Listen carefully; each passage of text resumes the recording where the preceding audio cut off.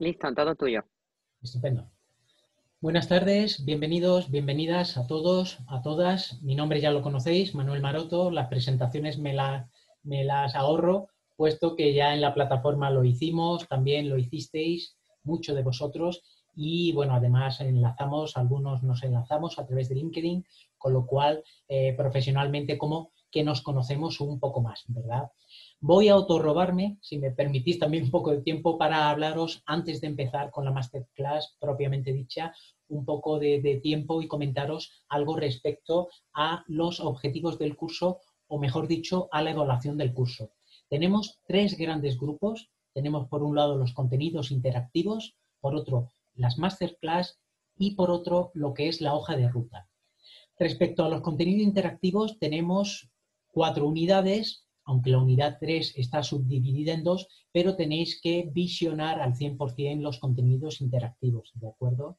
Respecto a lo que son las masterclasses, pues ya sabéis que tenemos por unidad, tenemos una por unidad en la 1 y en la, en la, en la 3, y en lo que es la unidad 2 y en esta, la unidad 4 que tenemos ahora mismo, tenemos dos masterclass por, por cada unidad. ¿Cómo controlamos el visionado? Pues bien, o en directo o en diferido, siempre tenéis que hacer al final un cuestionario de 10 preguntas que es necesario superar 5 para, para, pasarlo, pero que mide para nosotros el visionado y el aprovechamiento del contenido de la masterclass. Y por otro lado, ese tercer gran bloque es el de la hoja de ruta. ¿De acuerdo? La hoja de ruta va a ser algo voluntario, pero que sin embargo, pues imaginaos, ¿no? Estamos ofreciendo un servicio que de manera externa o en la calle llevaría un coste y vosotros en este caso pues es un servicio que se os, va, se os va a prestar de manera totalmente gratuita porque va incluido en el curso y creo que es un muy buen recurso para que aprovechéis. Y asociado con esta hoja de ruta, ya sabéis que vamos a tener unos webinars que vamos a dividiros por grupos para poder acceder a este webinar que va a versar sobre la construcción, sobre la elaboración de esta hoja de ruta. Luego, y acabo ya, sin que se os pase también, es muy importante que contestéis al final del todo el cuestionario de satisfacción que tenemos en el curso, que es lo que nos ayuda a mejorar o a solventar eventuales faltas, eventuales fallos que detectéis, ¿de acuerdo? Pero nos ayuda bastante que lo rellenéis. Y hay también al final, ya lo veréis conforme se vaya abriendo estas partes para, el uso como alumnado, una actividad que consiste en hacer una hoja de ruta de una manera muy sencilla, pero que difiere, de acuerdo, pues bastante de lo que vamos a trabajar nosotros a través de los webinars y construyendo vuestra hoja de ruta propia, ¿vale? Y dicho esto, si empiezo directamente ya a hablaros y a comentar eh, el, webinar. Un momentito que acabo de perder por aquí. Ahora. Bien. Ahí está. Estáis viendo ya en pantalla la portada y comienzo, pues bueno, hablándoos un poco, como siempre, de contextualizar eh, el curso que vamos, la masterclass que, que, vamos a tener hoy y el curso en general que estamos llevando a cabo. Es verdad que como cada semana, pues bueno, lo que damos ahora comienzo es a esa formación online destinada sobre todo a que deis, a que demos entre todos ese paso definitivo hacia la transformación digital de vuestros negocios. Esta es una acción puesta en marcha, como sabéis, por la Consejería de Transformación Económica, Industria, Conocimiento y Universidades de la Junta de Andalucía. Además, aprovecho para comentaros que esta consejería a través de la iniciativa Andalucía es Digital, encargada de la promoción y desarrollo de la economía digital en nuestra región, pone a disposición de todas las pymes andaluzas unas ayudas para abordar la transformación digital de sus negocios.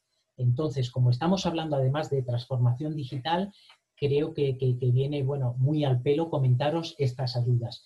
Y os voy a mostrar, además de colgaros el enlace a través del chat en la plataforma, ahí lo tenéis, os voy a mostrar pues la página web donde se puede obtener toda la información acerca de estas ayudas. ¿De acuerdo? Ya las tenemos ahí en pantalla. Y bueno, se trata de, como digo, a partir de un presupuesto mínimo de 6.000 euros, ¿de acuerdo? Las subvenciones pueden alcanzar hasta el 50% de dicho presupuesto. Eso sí, con un límite de 75.000 euros. Y entre los conceptos subvencionables, pues bueno, tenéis todo lo que sea consultoría digital, equipos informáticos, licencias de software también, ojo, no sistemas operativos ni aplicaciones informáticas, ofimáticas, perdón. Y también tenéis como subvencionable los servicios en la nube, siempre que no se trate de cargos recurrentes, es decir, de servicios que facturen mensualmente o anualmente. Y para más información, por favor, os pido que os remito a esta dirección que he colgado en el chat para que accedáis a esta página y tengáis toda la información y requisitos para poder disfrutar de estas ayudas. ¿De acuerdo? Muy bien. Cambio de nuevo de pantalla y compartimos la presentación. Vamos a ver, aquí la tenemos ya. Eso es. Y ahora sí, comenzamos eh, de manera ya propiamente dicha lo que es el curso y os digo que, lo que vamos esta tarde a iniciar es la sexta y última masterclass de toda la serie que hemos tenido en este curso que continúa, de acuerdo, el curso continúa, pero las masterclass eh, llegan hasta hoy, luego nos quedan unos webinars, ahora los citaré, y es una masterclass perteneciente, como sabéis, a la unidad 4 de recursos necesarios para la empresa y titulada Kit Esencial para la Transformación Digital.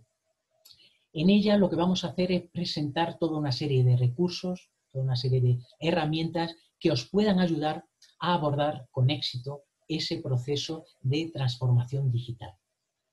Y una vez que culminemos la, la masterclass, lo que tenemos ya en los próximos encuentros donde nos vamos a ver es son una serie de webinars que a partir de la semana que viene, el mismo lunes 30 y hasta el jueves 3 de diciembre, pues vamos a llevar a cabo. Se trata de webinars eh, grupales, tendréis que asistir solamente a uno, ya comunicaremos a cuál de ellos, ¿de acuerdo? Y se trata de diseñar, de crear la hoja de ruta, plan de acción para que podáis llevar a cabo un proceso de transformación digital en vuestros negocios. ¿de acuerdo?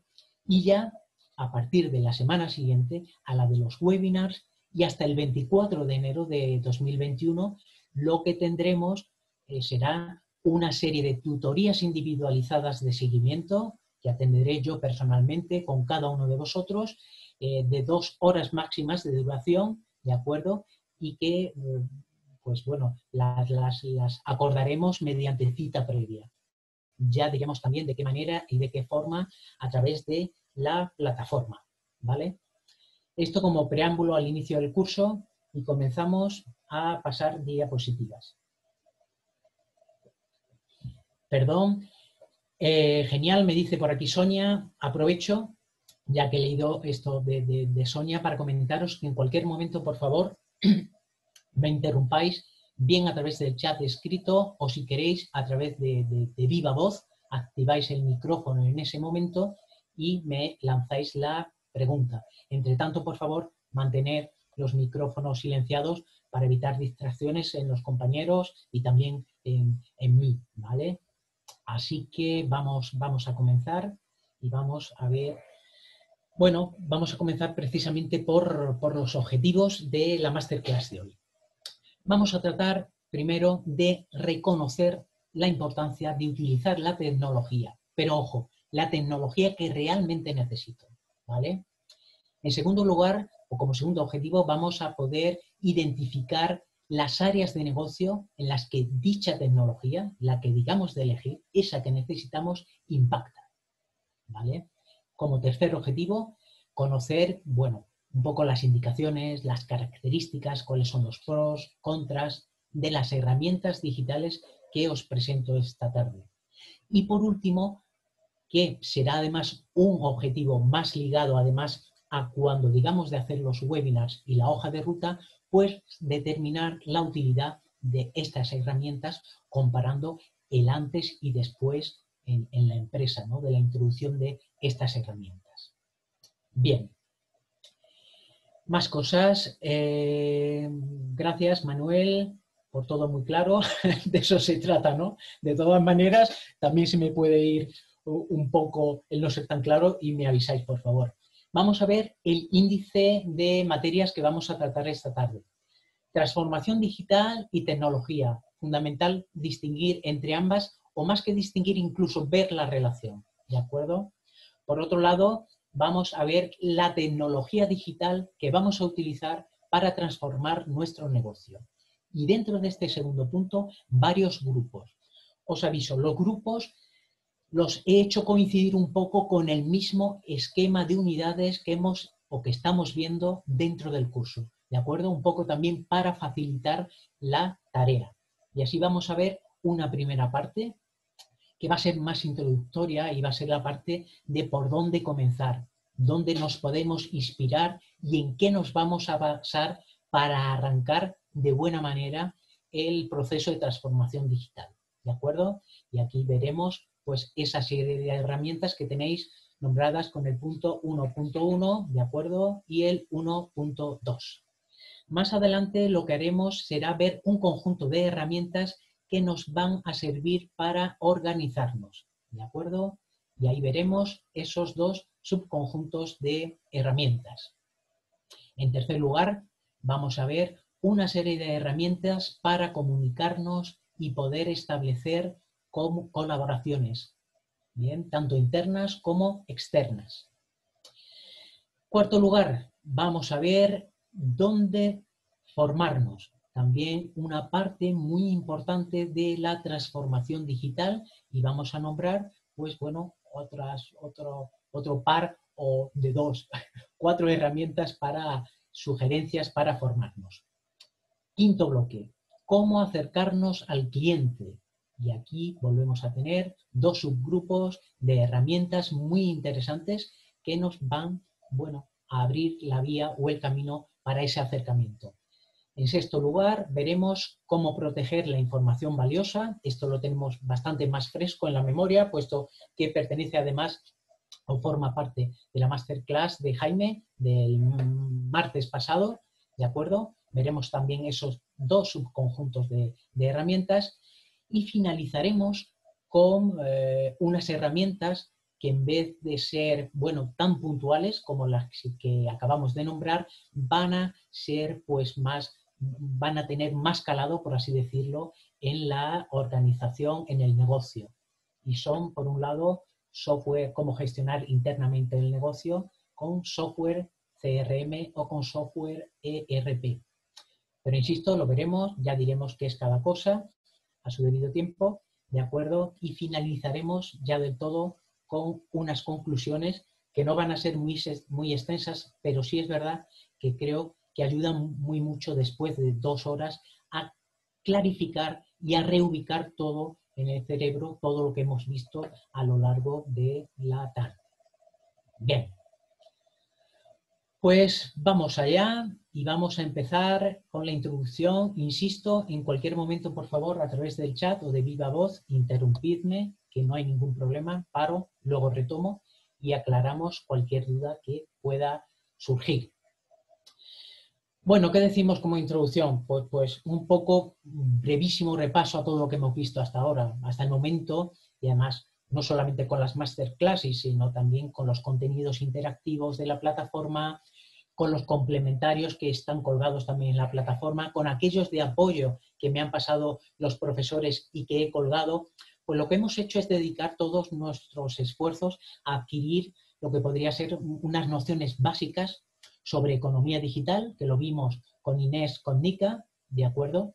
Luego vimos y hablamos también de competencias personales, de la mano de Nacho Muñoz, el cliente digital, que lo vimos la semana pasada con Ricardo Llamas, y la ciberseguridad, esta misma pasada, eh, pasada, esta misma semana, perdón, el martes pasado, que lo hicimos de la mano de Jaime Trinidad Ortiz. ¿Y qué nos toca ahora? Pues bueno, ahora nos toca profundizar algo más en el análisis de los recursos que precisa tu negocio para seguir avanzando por esa senda de la transformación digital.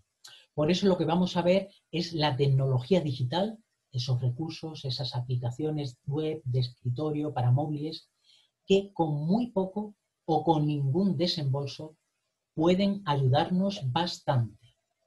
¿De acuerdo? Esa es un poco la introducción y la idea de la masterclass de hoy.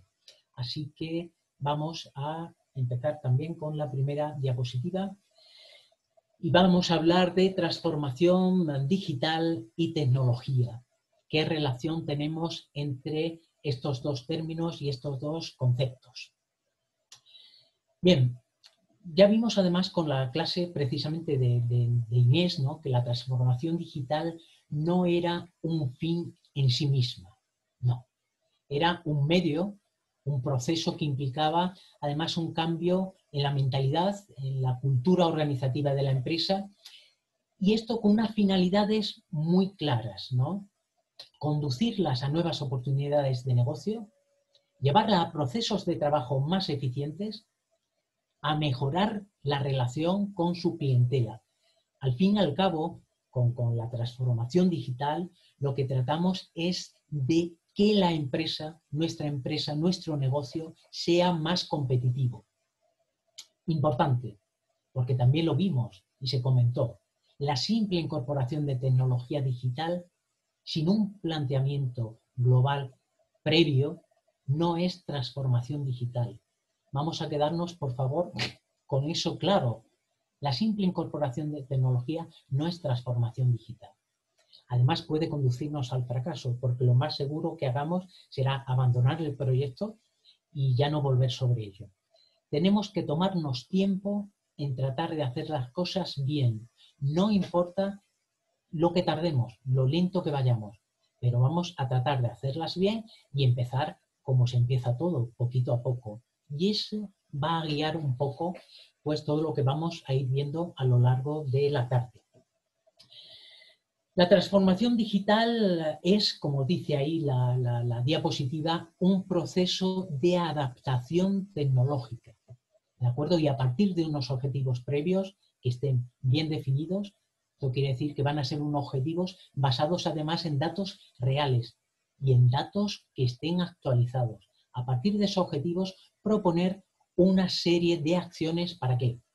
Para que podamos introducir la tecnología digital en la empresa, para que la podamos implementar y desarrollar, y tercero, para sacarle rentabilidad. Si no cumplimos con estas tres premisas, nuestro esfuerzo no valdrá de nada. Es así, es duro, pero es así de claro. Introducir la tecnología, desarrollarla y sacarle provecho.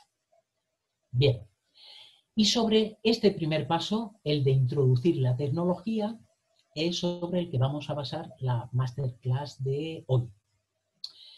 Pero recordad, y lo veremos eh, sobre todo en el webinar grupal de la hoja de ruta que empecemos a desarrollar la semana próxima. Todo es necesario que se enmarque en una estrategia digital, que es la que vamos a dibujar, la que vamos a diseñar de manera exclusiva para cada una de vuestras empresas. ¿De acuerdo? Ahí es donde vamos a estar mano a mano con las tutorías individualizadas para tratar de sacar adelante este proyecto. Hoy lo que vamos a, lo que vamos a, ver, y ya empezamos con el segundo punto, que es el grueso de, la masterclass, lo que vamos es a ver, a comentar, a proponer hasta un total más de 25 recursos, creo que, llega a 30 entre recursos y herramientas digitales. Una aclaración, como, podéis suponer o, podréis suponer, eh, la finalidad de hoy no es detenernos en cada herramienta para tramitar el alta, aprender a rodarla, ver sus singularidades, no, porque para eso a día de hoy tenemos pues tutoriales a porrillo, si me permitís la, la expresión, y tenéis a vuestra disposición vídeos y esto se puede aprender ahí. Hoy vamos a tratar de extraer y sacar de estas herramientas la utilidad para vuestro negocio. ¿De acuerdo? Además, también os recuerdo que tenéis una cantidad pues ingente de, contenidos complementarios en la plataforma que me consta que ya estáis visualizando también, porque me llegan consultas y precisamente en, en la unidad segunda hay un webinar colgado también impartido por mí. No, pues no, se trata ni mucho menos de, de, dar autobombo, pero sí os lo comento que está ahí porque son herramientas también digitales, en este caso enfocadas en la comunicación, pero las tenéis ahí para echar mano de acuerdo de ellas y se explican también un poco más en profundidad. Al fin y al cabo, en este segundo punto, viendo todas las herramientas, lo que mi intención es presentaros un, abanico amplio de posibilidades, aunque desde luego existen muchas más. ¿eh? aplicaciones, herramientas, hay cientos, por no decir miles, pero yo os presento unas cuantas agrupadas por esas partes que hemos ido viendo, que coinciden con, con, las unidades que hemos visto a lo largo del curso, y se trata de que en función de vuestros intereses os decidáis por implementar, por, por llevar a cabo, por desarrollar aquellas que veáis más oportunas para vuestro negocio y que yo pueda ver en la hoja de ruta que, os ayude a, redactar, ¿de acuerdo? Espero, espero verlas y, bueno, y que estén justificadas también, ¿no? En base a, a, lo que trabajéis sobre vuestro negocio y sobre cómo hacerlo al fin y al cabo más competitivo. Muy bien, hasta aquí en esta parte de introducción. ¿Tenéis alguna, alguna duda? ¿Algo que queráis que, volvamos sobre ello o que aclaremos? Aprovecho para dar un sorbo de agua.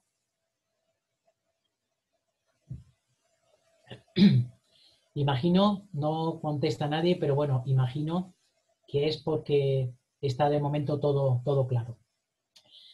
Pues bien, vamos a continuar entonces y vamos a empezar con las primeras herramientas. Además, por las herramientas ¿no? de por dónde comenzar, dónde inspirarnos y en qué basarnos. Un buen punto de, partida, sea cual sea la actividad o lo que vayamos a emprender, exige sobre todo una base sólida. Y esta base sólida la construimos siempre de manera habitualmente con un autoconocimiento profundo de nuestra empresa, en qué entorno se mueve, qué equipo humano la integra, aunque seamos una o dos personas, qué producto, qué servicios vendemos, a qué clientela nos dirigimos, la infraestructura con la que contamos, cuáles son nuestros procesos de trabajo, ¿de acuerdo? Entonces, por un lado, tenemos para tener un buen punto de partida ese autoconocimiento que debemos de mejorar, ¿de acuerdo? Y luego también una identificación clara de cuáles son los objetivos de nuestra empresa a alcanzar. Sobre todo en los webinars vamos a trabajar cómo definir o cómo redactar estos objetivos para nuestra empresa. Después, además, para, para, dar un primer paso de comienzo, conviene mirar cómo lo hacen otros, inspirarnos también. Estamos hablando de un seguimiento de la competencia. Ojo, no como antes que decía, bueno, yo, quien era muy pretencioso, incluso decía, yo no tengo ni competencia, ¿cómo voy a ponerme a seguirla? La competencia existe, está ahí, y hoy más que nunca está al alcance de nuestra mano saber qué está haciendo. No por el mero hecho del chisme, ¿no? Sino por saber qué está haciendo, si le funciona, si no le funciona, si podría yo probar una fórmula similar, qué podríamos aprovechar de la competencia. Y también en este inicio es muy importante que trabajemos con datos reales y contrastados para aceptar en todo lo que podamos en las previsiones que hagamos y que sirvan de guía en nuestra hoja de ruta. Con lo cual, autoconocimiento, mm, datos para inspirarnos y datos reales y, contrastables, perdón, es lo que vamos a ver en este primer punto, dónde conseguir todo, todo eso y cómo hacerlo. Comenzamos por una eh, herramienta que además vais a ver pronto, conforme avancéis en el curso, pues se os solicita incluso que realicéis la prueba de madurez digital de vuestra empresa a través de este test, el test de diagnóstico digital.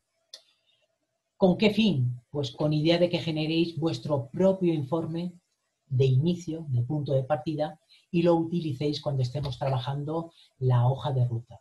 Es recomendable además registrarse para hacerlo, no es obligatorio, pero recomendable porque, porque luego eh, podéis ver un histórico de vuestra evolución en la herramienta.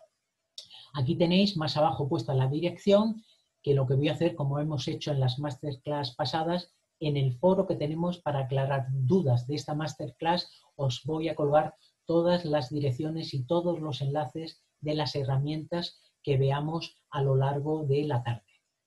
Muy bien, pues vamos a empezar a describir, si os parece bien, un poco esta herramienta. Se trata de un servicio online que es sencillo, que es gratuito, que a base de pantallas y preguntas contribuye a pues, hacer el test, a cumplimentarlo. Sirve para descubrir el grado de digitalización de vuestro negocio. ¿Y cómo lo hace? Pues bueno, lo que permite es obtener una radiografía de cuáles son las debilidades y cuáles las fortalezas de vuestra empresa ante el desafío digital que, vivimos. ¿no? Es muy útil el hecho de que guarda y descarga, se puede descargar los PDFs de los pasos a seguir que os propone la herramienta una vez que hayáis hecho vuestra autoevaluación. ¿De acuerdo? Además, pues facilita toda una serie de acceso a recursos formativos, a comparativas con otras empresas y también os facilita una infografía, una gráfica de cómo afecta el proceso de transformación digital a vuestra empresa.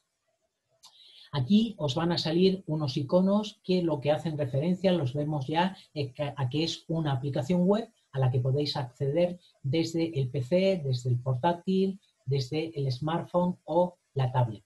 ¿De acuerdo? Así que esa es nuestra primera herramienta, muy sencilla.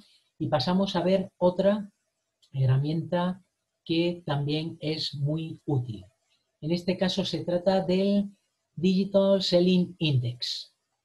En este caso, eh, la herramienta es un cuestionario más específico, ¿de acuerdo? Está centrado en calcular cuál es vuestro índice de destreza en la venta digital a partir igualmente que la anterior de las respuestas que vayáis dando, unas respuestas predefinidas que tenéis que elegir según la que se acerque más a vuestro, a vuestro eh, parecer o a vuestra situación.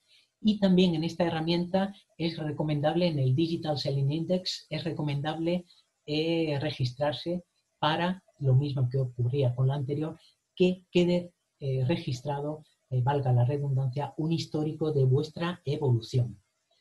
Características de esta herramienta.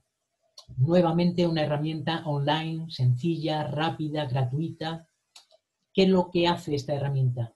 Sirve para identificar tus hábitos y comportamientos en digital selling, en venta digital.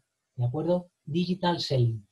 Permite, además, detectar cuáles son las áreas en las que podéis mejorar y también te permite compararte con otros usuarios que previamente han realizado también el test. ¿no? Fijaros que estamos viendo lo que decíamos un ratito antes, eh, iniciarnos dando bien los pasos, dónde inspirarnos, qué fuentes utilizar. Bien. Puedes acceder y guardar tus informes también si te registras, pero ojo, en este caso esta herramienta no permite descargarte en PDF los informes. No sé si lo irán a, implementar o no, pero de momento no se pueden descargar. Y esta herramienta lo que hace sobre todo es puntuarte en diferentes áreas que yo considero muy interesantes.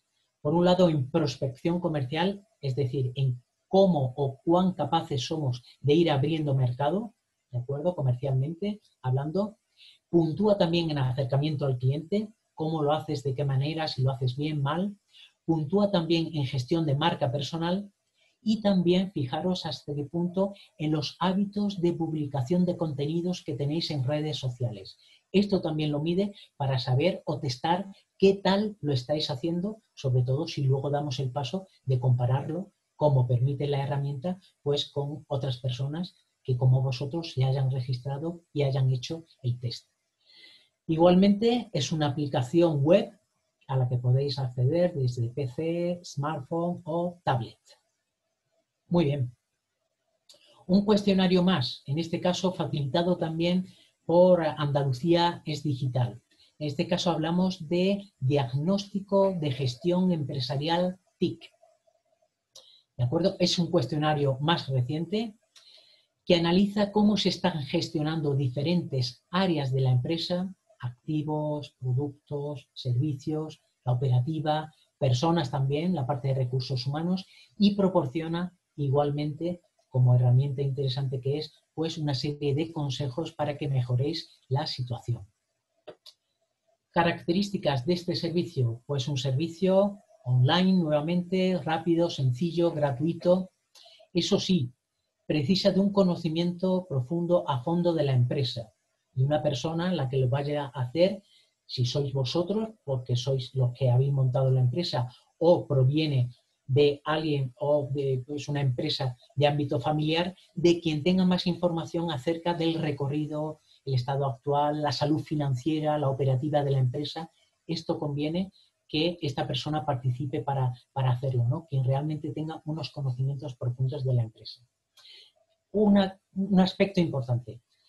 Sirve para analizar la competitividad, pero ojo, en términos de gestión y además solo para empresas TIC. He subido la herramienta además porque me consta, por el contacto que mantenemos, que varios de vosotros trabajan en este sector Concretamente, no sé si hay, son un par de empresas las que trabajan en el sector de, la informática, si hay alguna en, eh, vivo que, lo diga, por favor. Y también hay alguna empresa, creo recordar, en tema de reprografía y de imprenta. Pues bien, toda la parte que derive, si deriváis hacia el punto de las nuevas tecnologías de la información y la comunicación, esta herramienta está recomendada eh, profeso para, vuestro caso. ¿Qué es lo que nos permite la herramienta? Pues bueno, obtener informes con las áreas de gestión de la empresa que, podemos mejorar y recomendaciones de eh, actuación, cómo actuar, cómo mejorar de manera personalizada. Y, insisto, es específica para empresas del sector TIC. Igualmente, es una aplicación web con acceso desde PC, smartphone o desde tablet. ¿De acuerdo? No todas eh, las vamos a ver con estas tres opciones, por eso los voy, lo voy nombrando, ¿no? Para que luego no tengáis problemas de acceso. Bien, vamos a ver si os parece la segunda parte, pero todavía en este punto, ¿no? De, por dónde comenzar, dónde inspirarse y fuente de datos fiables. Y vamos a ver la siguiente herramienta o el siguiente recurso en este caso eh, se trata del Banco de Proyectos Empresariales. La Fundación Pública Andaluza, Andalucía Emprende, puso en servicio hace unos años este proyecto, el Banco de Proyectos Empresariales, valga la redundancia.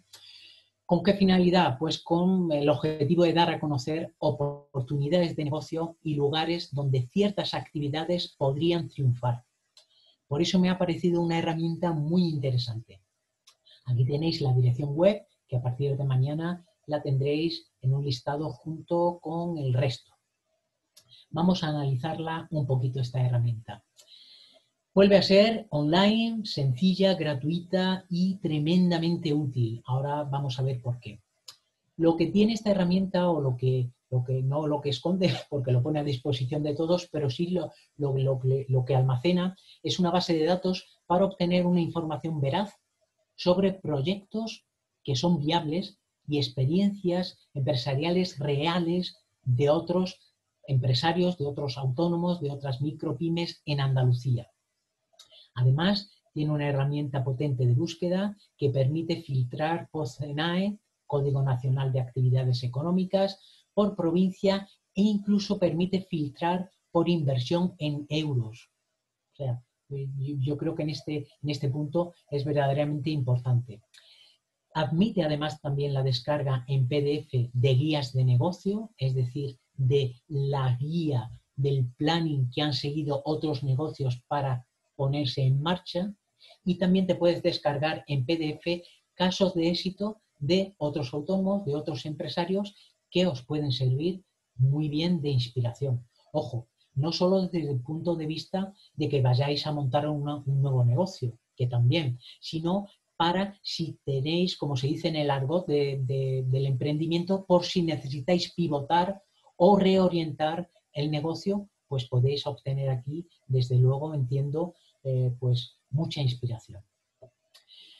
Sin ser un aspecto negativo, si os comento que la última actualización ya tiene un par de años o tres, pero la herramienta y el contenido es tremendamente rico y variado y desde luego muy, muy aprovechable. En este caso es una aplicación web, pero os recomiendo que el acceso lo hagáis solamente desde ordenador de sobremesa o desde portátil, puesto que aunque se ve bien en los móviles, eh, vamos, se ve en los móviles, mejor dicho, no se ve del todo bien. ¿Vale? Muy bien. Siguiente herramienta o recurso. Vamos a ver fuentes de datos fiables. La toma de decisiones que hacemos a menudo en las empresas deben de estar sobre todo siempre muy bien fundamentadas. Y para ello lo que es imprescindible que cuando digamos de tirar de datos del sector, lo hagamos de fuentes de datos, de estadísticas que sean fiables, ya sean estadísticas referidas al sector, a la actividad económica, al área geográfica o de influencia en, la que estamos implantados, a la competencia, al usuario, da igual, al fin y al cabo de lo que se trata es de esforzarnos porque la empresa detrás de ese estudio la empresa detrás de esa serie de datos o estadísticas sea una empresa de reconocido prestigio. Solamente así tendremos garantizada la fiabilidad del estudio y pensemos que son datos que nos van a servir para hacer proyecciones nuestras de nuestra empresa, con lo cual conviene que sean datos lo más fiables posibles. Vamos a nombrar distintas fuentes, tendréis, insisto, aunque me repita, los enlaces colgados luego en el foro. Tenemos por un lado el Instituto de Estadística y Cartografía de la Junta de Andalucía. Tenemos a nivel nacional su equivalente que es el Instituto Nacional de Estadística o INE. A nivel europeo tenemos la Eurostat o la Oficina de Estadísticas de la Unión Europea. A nivel internacional o mundial tenemos la UNED Data o Data, que son las estadísticas de la ONU ¿de acuerdo? Y ya dentro de la parte privada tenemos la biblioteca de IAP Spain. IAP es eh, la asociación de comunicación, marketing y publicidad más grande o más conocida y hace unos estudios muy interesantes sobre eh, la, la, actividad digital, el marketing digital, los e-commerce y de ahí podemos extraer muchos datos, además sobre tendencias. Por otro lado, tenemos los informes eh, de sociedad sobre sociedad digital que elabora la Fundación Telefónica, también muy fiables y muy interesantes. Y por último, nombramos las publicaciones de BBVA, que son los informes de BBVA Research o investigación. ¿De acuerdo? En este caso, como eh, son herramientas de acceso online, acceso web, y lo más interesante es de hacerlo desde un portátil, desde un PC donde nos podamos descargar archivos, coger, copiar datos, etcétera, etcétera. Procurar siempre luego nombrar la fuente. Muy bien. Pues ahora pasaríamos a un segundo bloque, pero antes me gustaría pues hacer una pausa para preguntaros si tenéis dudas acerca de lo que hemos visto hasta el momento. Hemos visto, os recuerdo, la serie de herramientas por las que empezar a trabajar. ¿De acuerdo? Por dónde comenzar, dónde inspirarnos y en qué datos basarnos. Gracias, Juan Jesús. Me dice todo bien. Pues entonces Continúo si no hay de momento más eh, dudas o si no hay alguna otra aportación por vuestra parte. Vamos a ver ahora la parte de cómo organizarnos. Esta, e, e, esta parte nuestra corresponde con la, con la, la masterclass, con una de las masterclass que tuvimos con Nacho Muñoz, que vimos productividad por un lado y luego comunicación por otra. Vamos a la parte de productividad conseguir hacer más, mejor y con un menor esfuerzo y si me apuráis en menor tiempo, ser productivos al fin y al cabo, es un objetivo importante. Y ojo, no solamente en el ámbito empresarial, cada vez lo traspasamos más también al personal. Con Nacho Muñoz, lo acabo de nombrar, la masterclass de tips para ser más eficientes, tuvimos ocasión de ver eso que él denominaba venenos para la productividad, ¿no? Y también algunas herramientas que nos mostró interesantes, desde luego, para combatirlos. Ahora yo voy a proponer otra serie de herramientas y vamos a comenzar viendo Google Task y Google Keep. Los listados de, tareas, que, que, al fin y al cabo de eso se trata precisamente con estas dos herramientas, Google Task y Google Keep, pues como digo, los listados de tareas van cobrando relevancia conforme pasa el tiempo. Sin embargo, yo detecto que pasa, que pasa una cosa y es que tienden a convertirse en programas gigantes, multifunción, que requieren mucho entrenamiento, ¿no? Y al final hace que, los abandonemos, ¿no? Pues bien, en el extremo opuesto tenemos a Google Task, que permite tener un listado muy sencillo de tareas pendientes, editarlas, administrarlas y os puede resultar muy interesante para eh, mejorar vuestra productividad. Aquí tenéis el enlace para tanto en la Play Store de Google como en la App Store de Apple para poder descargarosla para el móvil. Aunque también la podéis tener de otra manera y lo vemos enseguida. Vamos a ver sus características. Es una aplicación gratuita que lo que permite es crear y administrar fácilmente tareas. Cuenta, y aquí está la opción que tenéis, además de tenerla en los móviles, la opción cuenta con un acceso directo desde Gmail y desde Google Calendar, que facilita tenerla siempre a mano. Es decir, en la parte derecha de si utilizáis el servicio de Gmail para leer vuestro correo o utilizáis el calendario de, Google, pues en la parte derecha tenéis esta herramienta para poder utilizarla, desplegarla de manera inmediata y fácil. Me pregunta Juan Jesús, ¿hay forma de compartir el task en el equipo de trabajo? Para contestarte esta pregunta, te ruego que esperes a la siguiente herramienta, porque se trata de ver una herramienta un poco más completa que el task, también muy sencilla, que es Google Keep, y que sí permite, sobre todo, ese compartir. En Google Task, eh, Juan Jesús, vas a ver, al menos a mí me gusta más, una, utilidad muy interesante que te la cuento en nada, ¿vale? Y ahora con Google Keep vemos esto que, me preguntas. Si se me pasa, que espero que no, me, das un toque, ¿vale? Activas el micrófono y me das una voz. Bueno, estábamos. Eh, permite además la sincronización instantánea con todos tus dispositivos. Ya la tienes en Google, en Gmail, ya la tienes en Google Calendar, pero si además te la descargas en el móvil, la sincronización va a ser eh, inmediata. ¿De acuerdo? Admite además que esta es la funcionalidad, eh, Juan Jesús, que me dices además que usáis Keep, genial. Ahora a ver si descubrimos alguna utilidad, aunque sea pequeña más, para, que ayude. Eh, esta es la, utilidad que yo veo muy interesante de eh, Google Task. Y es que admite, fijaos, la conversión directa de los emails que os lleguen, de los emails recibidos en tareas pendientes. Es decir, recibís un email y pulsando arriba lo enviáis directamente a Google Task y te lo convierte en una lista de tareas pendientes. Yo para mí me sorprendió en su día y creo que es una utilidad interesante, sobre todo si somos jefes y queremos enviárselo al empleado o si estamos colaborando con, alguna empresa, empresa eh, externa y nos envía un correo de tareas pendientes. Oye, mira, para poder elaboraros vuestra página web, por favor, esto, esto, esto y esto. Pues lo convertimos del email a Google Task automáticamente.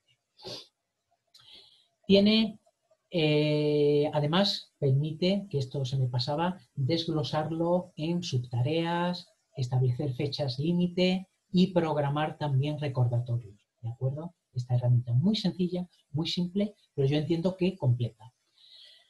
Podemos acceder, ya lo hemos visto, desde Gmail, desde Google Calendar, desde vuestro navegador. Existe también una extensión para Chrome y desde el móvil, ya sea Android o iOS, o iOS, sistema operativo, también tenéis el acceso. Además, para esta herramienta en concreto, os voy a dejar también un enlace a un vídeo para cómo aprender a utilizar Google Task en seis minutos. Vamos a ahorrar tiempo, vamos a ahorrar también recursos económicos y en este caso eh, Google Task, que es gratuito, con este pequeño vídeo lo vais a poder aprender a utilizar o al menos familiarizaros en tan solo seis minutos. Bien, siguiente herramienta. Y llegamos, eh, Juan Jesús, a la que yo te había propuesto y que según entiendo me dices que utilizáis también en la empresa. Si queremos ir un paso más allá en la simple lista de tareas, como por ejemplo anotar rápidamente ideas que se nos pasen por la cabeza para poner en práctica en nuestra empresa, incluso de viva voz. Si queremos tomar unas fotos para incluir en nuestro sitio web, pero no las queremos dejar desperdigadas, sino que las queremos asociadas a un proyecto concreto, también nos sirve para eso. O si queremos compartir, y aquí entra lo que me preguntabas, Juan Jesús, un procedimiento de trabajo para que lo aplique otra persona de la empresa. Y ahora vamos a poner un ejemplo, creo, muy, muy práctico, muy ilustrativo. Entonces, para todas esas tareas que acabo de nombrar, tenemos a Google Keep, que permite tomar notas, organizarlas, compartirlas y añadirles recordatorios también. Esto de los recordatorios, como pasaba con Google Task. Aquí tenéis de, de dónde bajárosla, ¿de acuerdo? Lo tendréis luego puesto en el foro vamos a ver las características más importantes de Google Keep.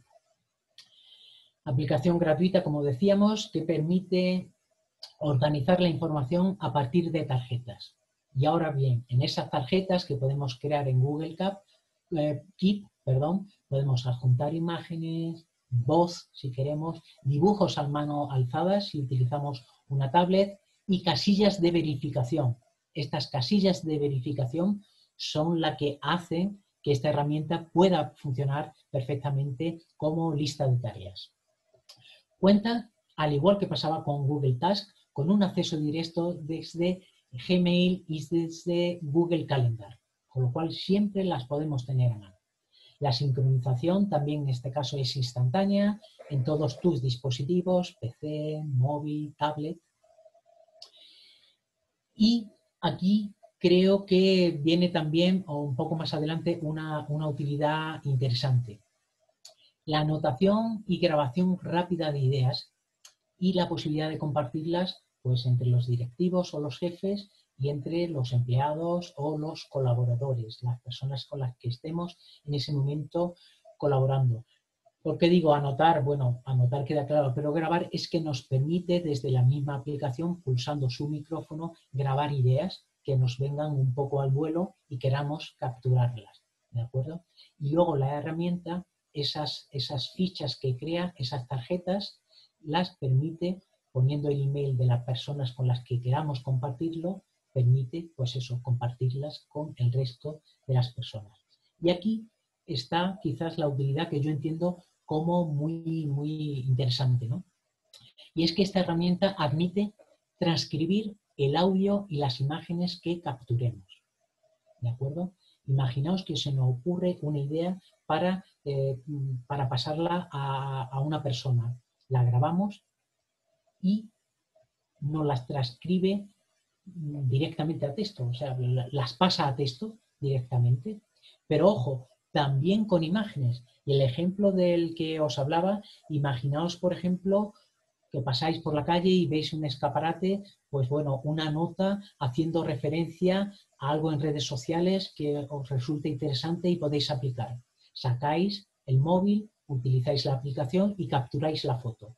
Pues bien, el texto contenido en esa foto lo pasa también automáticamente a texto y lo transcribe. Y ya vosotros pues podéis incorporarlo en un email sin tener que poneros a teclear que siempre en un móvil es más incómodo, y transmitirlo o pasarlo a la persona o a la dirección que elijáis. Con lo cual yo creo que esta es una, una, función útil, muy útil. Pero ojo, no queda ahí todo. Hay una, una más que también a mí me resultó particularmente interesante cuando, cuando la descubrí en su tiempo. Se le pueden asociar recordatorios, ¿de acuerdo? A las, a las notas que tengamos en Google Keep.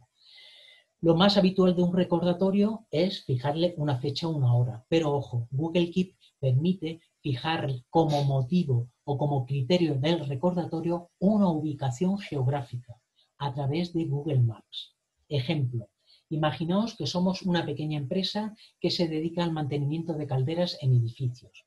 Pues bien, yo puedo elaborar en Google Keep una pequeña checklist o lista de chequeo para que mi empleado o yo mismo, si, si trabajo en solitario, pues en cada comunidad de vecinos que voy a visitar, chequear unos puntos imprescindibles. Pues muy bien, puedo programar esa lista de chequeo para que al pasar por la puerta de cada una de las comunidades que tengo, en la calle Álamos, en la calle Nueva, donde esté la comunidad, que me salte el aviso y la alarma. Y entonces entrar a la comunidad y chequear esos puntos. Entonces creo que también es un aspecto interesante eso de programar recordatorios en base a una ubicación geográfica. ¿De acuerdo? Muy bien, ¿cómo accedemos a esta herramienta? Pues bueno, web, ya lo hemos visto, también tiene extensión en Chrome y para iOS y para Android. También sobre esta herramienta os voy a poner, os voy a colgar un vídeo para que eh, en unos pocos minutos sepáis utilizar Google Keep. Muy bien, vamos a ver la segunda parte de ese cómo organizarnos, que es la que toca ahora. Muy bien. Vamos a ver eh, tres, cuatro herramientas, ¿de acuerdo? Y, que son estas, que también además recuerdo ahora que, que, Inés algo, algo comentó y fijaos, os la traigo y, porque es algo importante. En España contamos con, con, un plan estatal de transformación digital que data de 2015, ¿no? Pero muy pocas empresas a fecha de marzo de 2020 cuando nos abordó la, pandemia, estaban lamentablemente en disposición de utilizar dos tecnologías digitales que son claves, que son imprescindibles. Y os hablo del certificado electrónico y de la firma digital. ¿De acuerdo? Un certificado electrónico, estamos en esta parte, grosso modo, es pues, bueno, un conjunto de datos en formato electrónico que identifica y certifica que una persona es quien dice ser, sin necesidad de tener que mostrarlo en persona, ¿de acuerdo? Y el certificado electrónico puede estar contenido en eh, un archivo, en una memoria USB, en una tarjeta criptográfica o en el chip del TNI digital, ¿de acuerdo? Ahí están almacenado un certificado electrónico. Por su parte, una firma digital vuelve a ser un conjunto de datos en formato electrónico que sin embargo lo que asegura es que la identidad asegura tres cosas. Por un lado, la identidad del firmante, ¿de acuerdo? De que es quien dice ser, eso lo hace mediante el certificado electrónico que se usa para poder firmar digitalmente. Luego asegura también la integridad del mensaje, es decir, asegura que ese mensaje no ha variado, desde que lo hemos firmado digitalmente y también asegura el no repudio, es decir, que no puedo renunciar ni puedo decir que no he leído el mensaje o no lo he enviado si va firmado digitalmente. ¿De acuerdo? Esas tres cosas garantiza. Y para poder llevar a cabo una firma digital, pues se necesita, como os acabo de mencionar, un certificado electrónico y un software, que lo vamos a nombrar ahora a continuación, un software que permita firmar digitalmente, si no, no tendría ningún sentido. Imaginaos que necesitamos presentar una declaración responsable para una subvención, quizás de las que hemos nombrado, ¿no? de esas ayudas que da Andalucía es Digital para la transformación digital de pymes. ¿no? Pues podemos utilizar un software que permita la firma digital para firmar digitalmente eh, esa declaración responsable que vamos a presentar de cara a obtener una subvención.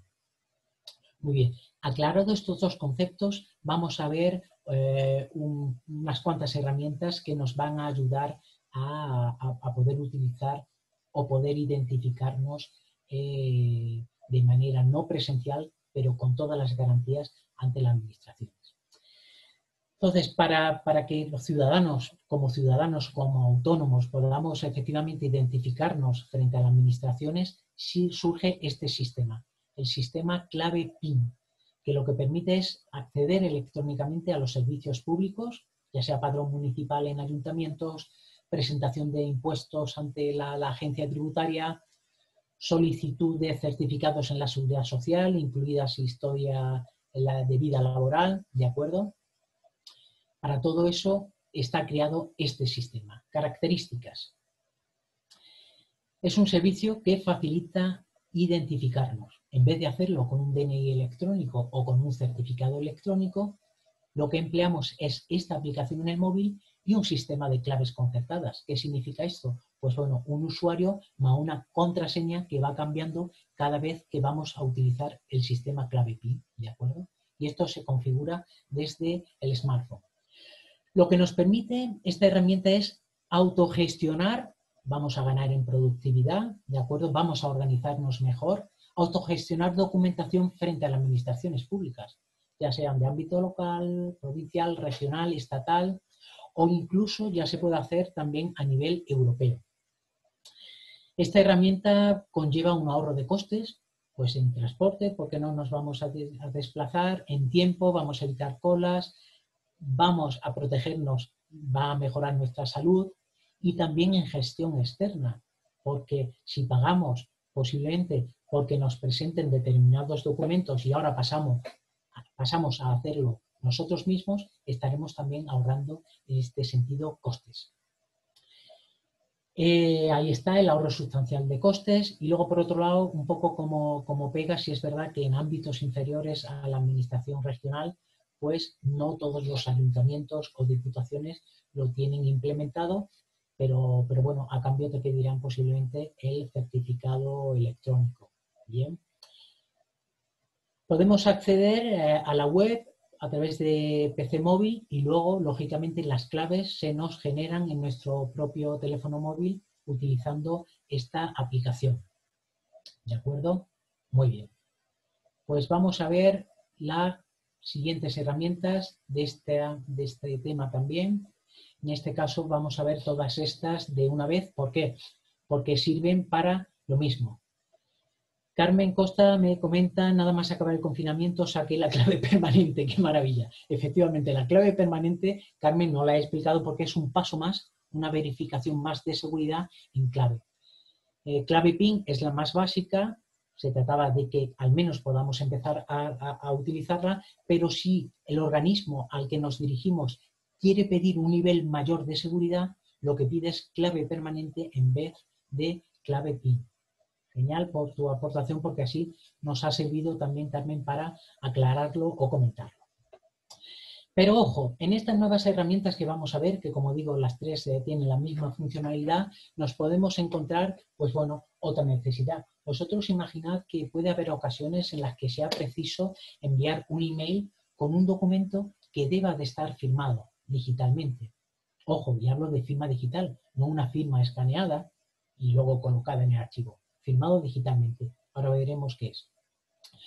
Por ejemplo, una factura electrónica que nos solicite alguien y deba ser una factura electrónica, porque claro, aquí habitualmente hablamos de factura electrónica, una factura dice, me ha llegado la factura electrónica de, esa, como ejemplo, ¿eh?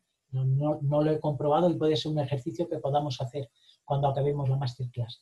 Pero y si la factura electrónica que yo llamo factura electrónica de Endesa es simplemente la factura escaneada y mandada por email. Eso no es una factura electrónica. La factura electrónica necesita tres pasos. Primero, que sea generada por un programa informático o por una aplicación electrónica, ya sea una hoja de cálculo, un PDF, nuestro programa de facturación, de acuerdo. Segundo, que sea enviada por un medio electrónico. En este caso sí cumple porque no ha llegado por correo electrónico, pero también me la podría descargar de la nube si la tuviera la empresa colocada en la nube. Entonces este sería el segundo requisito. Y el tercero es que vaya firmada digitalmente. ¿De acuerdo? Pues estas aplicaciones nos van a servir tanto para firmar nosotros documentos como para comprobar si lo que no han mandado tiene una firma digital actual, en vigor, ¿de acuerdo? Bien. Entonces, para todos estos supuestos podemos utilizar los tres servicios, autofirma, que es este, autofirma JA, que únicamente hace referencia a que es autofirma, pero dependiente de la Junta de Andalucía, puesta en marcha por la Junta de Andalucía, y valide que vuelve a ser una aplicación estatal, pero solamente online. Bien, vamos a ver características de estos tres servicios. Sirven, como decíamos, para realizar o comprobar firmas digitales. Lo que hace este, estas herramientas es dar validez de firma manuscrita como si fuera una firma presencial, al documento que elijamos, preferiblemente un documento que esté en PDF, pero podría ser cualquier otro. Y si es un documento que recibimos, lo que hacen estas aplicaciones es verificar la validez de la firma digital que incluye el documento. En todos los casos son herramientas gratuitas, ¿de acuerdo? Son muy ligeras, ocupan muy poco espacio y además conllevan como garantía el, estar avaladas por diferentes administraciones públicas. Autofirma y valide por el Estado y autofirma JA por la Junta de Andalucía. Evitan el escaneo de las firmas manuscritas y el riesgo que conllevan. Ojo, una firma que escaneemos y peguemos a un documento tardan 0,1 en luego recortarla y utilizarlas sin que lo sepamos en otros documentos. No escaneemos firmas, utilicemos la firma digital, por favor. Juan Jesús, ¿podemos enviar presupuestos a clientes y que los clientes nos firmen la aceptación digitalmente? Bueno, como propuesta la puedes lanzar, Juan Jesús. Ahora, cuenta o pongámonos en el lugar del cliente. ¿Va a tener medios para firmarlo digitalmente? Si los tiene, estupendo. Tú estipulas cómo quieres establecer eh, la relación con el cliente y si quieres que te firmen digitalmente los, los documentos, pero claro que se puede hacer. Como argumento, yo, mira, yo trabajo personalmente también con eh, documentos, con, con presupuestos previamente firmados. Claro, mm, no lo saben utilizar, pues e, esa es la parte por la que no podrías hacer tarifa plana de, e, e, del hecho de solicitar a todos la firma digital. Pero sí te comento una cosa, Juan Jesús, cuando a ti te lo pida una administración, sí o sí, te tienes que poner las pilas, tú o cualquier otro, me dirijo a ti porque me has lanzado la pregunta, nos tenemos que poner las pilas para hacerlo desde luego digitalmente. Con lo cual nos interesa. ¿Cuál te recomiendo? Mira, si vas a hacer trámites con la Junta de Andalucía, te recomiendo Autofirma J. Si los trámites son estatales, Autofirma del gobierno. Y para validarlo online sin tener que descargarnos herramientas, utilizaría Valide. Porque es muy cómoda. Sube el archivo que quieres que te verifique y te verifica si la firma es, es, está vigente o no. O subes el archivo que quieres firmar, eso sí, tienes que tener un certificado digital instalado en tu ordenador y online te firma el documento y te devuelve el archivo PDF firmado. ¿De acuerdo? Así que dependiendo del caso, si te soy sincero, yo tengo instalado autofirma y autofirma J. Tengo las dos y dependiendo del momento utilizo una u otra. Bien. El acceso a estas herramientas lo tenemos acceso web en el caso de Valide y acceso por aplicaciones en el caso de, autofirma J tiene aplicación móvil. ¿eh? Y se puede bajar. Pero tienes que tener instalado el certificado electrónico en el móvil. Si no, no puedes firmar nada. Ojo, esto, es importante saberlo. Bien. Pues ahora pasaríamos, nos tocaría profundizar en el siguiente bloque, que sería cómo comunicarnos y establecer colaboraciones. Pero antes, breve ronda o breve, breve parada por si tenéis alguna duda. Me pregunta Juan Jesús si valide es vinculante en términos legales. No sé bien a qué te refieres, pero la herramienta es una herramienta del Estado que está puesta en forma de plataforma web, no necesita descargarla y únicamente es para firmar.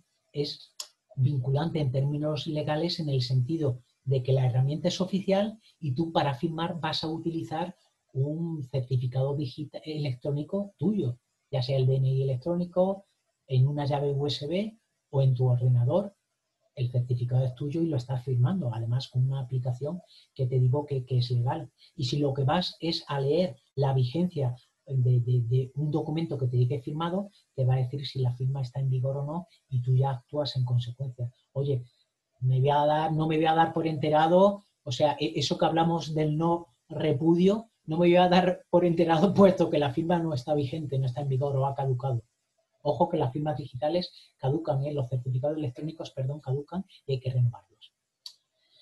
Carmen, me dice, Manuel, disculpa, estoy intentando instalar en una empresa la autofirma y me está resultando imposible. Pues no sé por qué, porque comentaba Carmen que, el software es, es, muy simple, pesa poco y no sé si tendrá un sistema operativo muy, muy antiguo, si tendrá algo que haga conflicto. Trata de entrar en autofirma de donde te la descargas, de la página del Estado, a ver si hay alguna serie de, notas que den para, solventar posibles problemas. Pero normalmente ambas se instalan sin, sin problema. Autofirma y autofirma JA.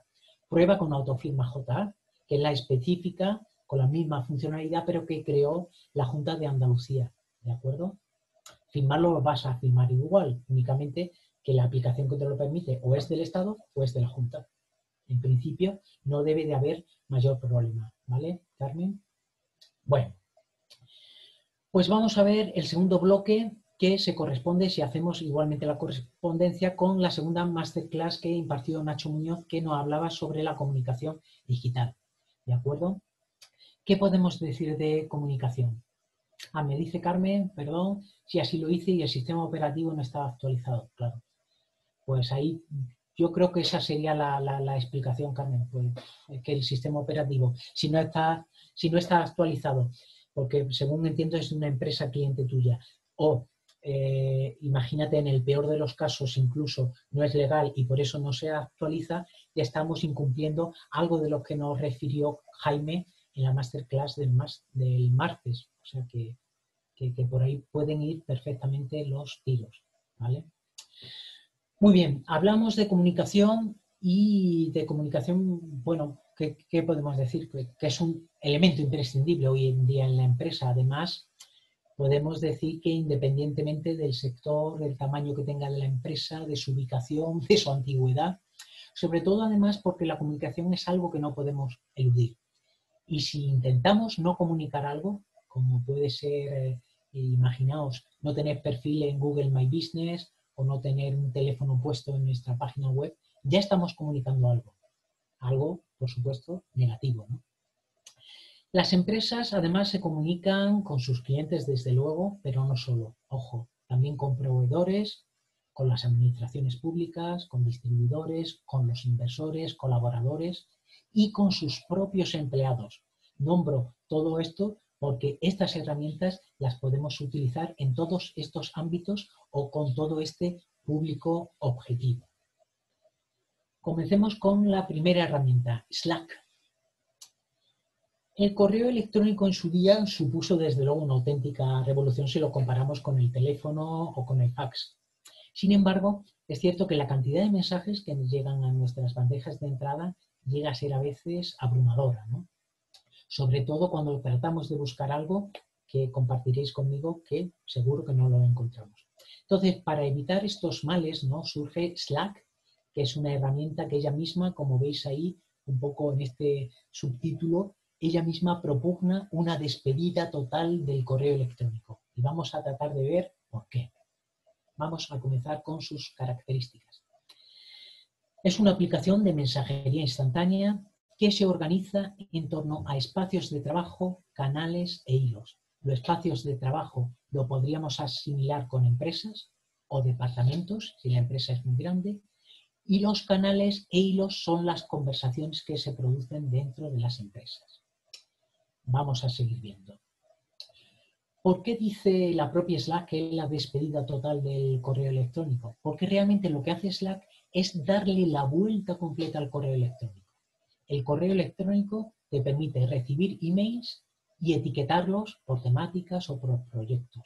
Y los llevo a mis carpetitas una vez que lo he recibido y los organizo así. Y Slack hace justo lo contrario. Parte de esos proyectos que ellos llaman canales, ¿de acuerdo? De esas temáticas que ellos denominan canales, que se crean previamente y ahora cualquier conversación que se produzca se va a producir en su canal correspondiente cualquier mensaje. ¿De acuerdo? Por eso le da una vuelta completa al correo electrónico y es verdaderamente útil. Yo entiendo que es muy, muy productivo. Permite comunicaciones pues ágiles, mucho más ágiles, va a evitar el goteo de, llamadas, de emails y sobre todo también más organizadas. Nos va a evitar duplicidades y se puede utilizar desde cualquier dispositivo. Nos va a fomentar el trabajo, el trabajo en equipo y tanto con empleados y jefes como entre jefes o como entre empleados, colaboradores y jefes, porque a cada uno le vamos a asignar un canal, ¿de acuerdo? Además, va a permitir conocer en tiempo real cómo van los proyectos en los que se trabaja. Imaginaos, como gerentes de vuestra propia empresa, si tenéis colaboradores, no necesariamente empleados, pero también podéis ver por las conversaciones que se producen en cada canal cómo va avanzando el trabajo y quién participa en él, ¿de acuerdo? Como aspecto un poco menos positivo, no diremos negativo, pues es verdad que requiere un rodaje inicial para utilizarlo con soltura, pero bueno, ahí está. Se puede acceder a través de la web, tiene aplicaciones específicas para Windows, Mac, Linux y también aplicación móvil específica para Android o iOS. Muy bien, y vamos a ver la siguiente herramienta en este primer subgrupo de cómo comunicarse, que es WhatsApp Business. Además salió, eh, si mal no recuerdo, en la masterclass de Ricardo, con lo cual vamos a tratar de ver la pregunta hacía referencia a cuáles son las diferencias entre el WhatsApp Business y el WhatsApp normal, que realmente es WhatsApp Messenger. Entonces vamos a ver las diferencias entre ambas. En el caso de WhatsApp Business, la verdad que no ser capaces de, separar la esfera privada de la pública, ¿no? pese a que el cliente electrónico, como vimos, quiera ser atendido las 24 horas del día, los 7 días de la semana, pues el no separar estos ámbitos puede acarrearnos problemas por falta de desconexión, distracciones indebidas, incluso por envío de mensajes a personas o grupos equivocados. Y esto nos ha pasado a cualquiera.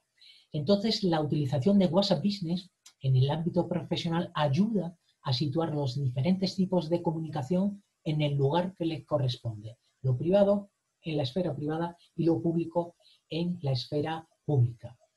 Características. Es una aplicación diseñada en exclusiva para pequeñas empresas y negocios, y lo que les permite es crear además un perfil con su propio nombre, añadirle una pequeña descripción, un email, incluso eh, enlazar a su sitio web, con lo cual van siendo características interesantes. Permite una comunicación fluida entre la empresa y sus clientes, ¿no? Esta es la funcionalidad principal, pudiéndole enviar a los clientes mensajes sobre productos, servicios de la empresa, sobre mm, la posibilidad de atender dudas, notificarles lanzamientos u ofertas, e incluso próximamente pudiendo comprar desde la propia aplicación, aunque todavía no está puesto en marcha. ¿De acuerdo? Ofrece además la posibilidad, el WhatsApp Business, de elaborar un catálogo con tus productos y servicios. Y luego de automatizar también, ordenar y responder a los mensajes de forma rápida, ¿no? Porque si automatizas aquellos mensajes más habituales como a qué hora abres, dónde estás situado, cuál es la hora de cierre, todo esto lo podemos automatizar perdón, y ahorrar así un tiempo importante. Posibilita también clasificar los contactos y etiquetar los chats y extraer estadísticas. Si hago un envío masivo, pues puedo saber cuántos han abierto ese envío y puedo tener una estadística interesante de eso.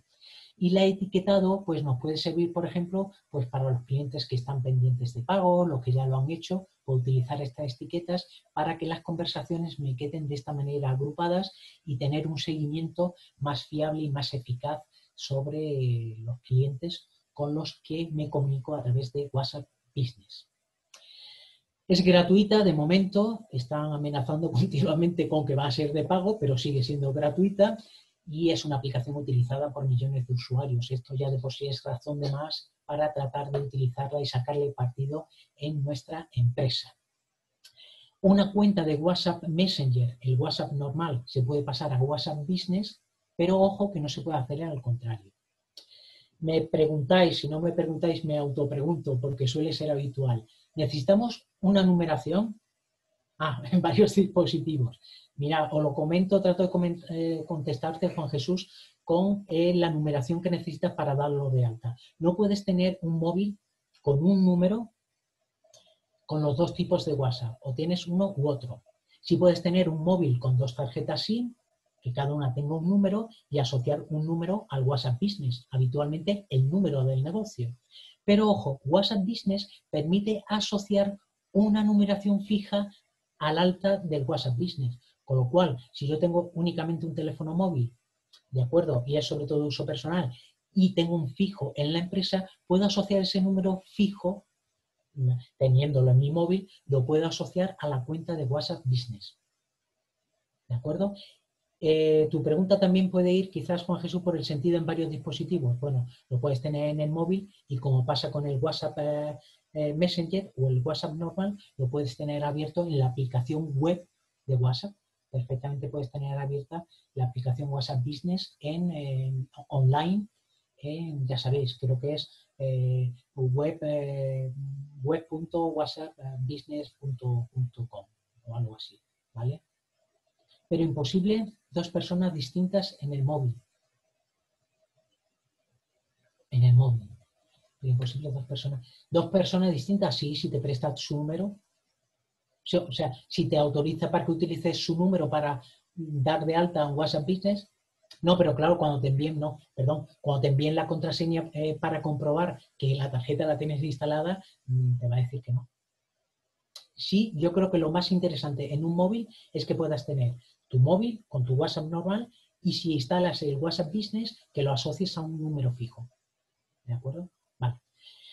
Me pregunta Carmen si puedes tener los dos WhatsApp en el mismo dispositivo. Sí, siempre que el dispositivo o bien tenga dos tarjetas sí o utilices una numeración para el WhatsApp normal y otra que sea el fijo, porque si no tienes otra tarjeta móvil, pues tendrá que ser un fijo, lo tengas en el móvil y tienes, puedes tener los dos, ¿vale? Estupendo. Gracias a ti, Carmen. Y continuamos. Para WhatsApp Business también os voy a colgar un pequeño vídeo para ver cómo crear un perfil de empresa, que es para lo que está eh, predestinado o eh, más que predestinado, diseñado, ¿vale? Bien, continuamos avanzando. Vamos a ver un segundo bloque de herramientas, nos había dicho, pero acaba de salir, desde dónde poder utilizar, lo he contestado, eh, con vuestras dudas el WhatsApp Business. Y vamos a ver ahora otras herramientas que nos sirven para comunicarnos. En este caso van a ser dos herramientas de Dropbox, ¿de acuerdo? Este espacio de almacenamiento en la nube. Y son dos subherramientas de Dropbox, pero que resultan muy interesantes. Cuando queremos trabajar sobre todo conjuntamente en un proyecto con otras personas, que pueden ser un proveedor, un colaborador, es decir, quien esté diseñando la página web, la imprenta que nos vaya a hacer un pequeño trabajo, etcétera, etcétera, es recomendable sobre todo huir de, mensajes de correo continuos, ¿no? Estos mensajes de ida y vuelta con los cambios, las correcciones, versión definitiva, ¿no? Esta, definitiva, en fin, todo lo que se genera alrededor de esto. Y Paper es una herramienta muy interesante, como digo, del universo de Dropbox, que permite trabajar en tiempo real utilizando además todo tipo de archivos tenéis acceso web a la aplicación y también eh, a través de apps para dispositivos móviles. Vamos a ver sus características. Es una herramienta colaborativa online que lo que hace es mejorar el desarrollo de proyectos conjuntos. Imaginaos, por ejemplo, una agencia de viajes y quien le está diseñando el sitio web, ¿no? Pues pueden tener ahí un espacio común para enviarse archivos, hacerse preguntas y estar trabajando conjuntamente. Admite adjuntar archivos de vídeo, imágenes, incluso código de programación. Imaginaos que habéis creado vuestra página en Facebook, página de empresa, ¿de acuerdo? Y decir, instalar, decidir instalar el pixel de Facebook. Pues como eso es un trozo de código, lo pegáis aquí, se lo podéis pasar directamente pegado el código a la empresa que esté trabajando la página web. Es una aplicación que permite pues, coordinarse entre empleados, departamentos y lo que fundamentalmente hace es ahorrar tiempo y recursos. Permite también adjuntar notas, hacer menciones precedidas de la característica arroba y utilizar mensajes directos. Como aspecto negativo, entre comillas, requiere una cuenta previa de Dropbox, pero como Dropbox es gratuito, pues bueno, pues no hay mayor problema. Eso sí, exige entrenarse un poco. ¿De acuerdo? Y ya hemos nombrado que está tanto para aplicación web como para móvil, como para tablet, y en ambas versiones, Android y iOS. Otras veces, sin embargo, y pasamos a la siguiente eh, herramienta, lo que nos interesa a la hora de sacar un proyecto adelante, pues tenemos que intercambiar archivos de gran tamaño, ¿no? y recurrir al email no siempre es la opción más recomendable, ¿no? porque nos puede bloquear, puede que nos suba un archivo de tal tamaño.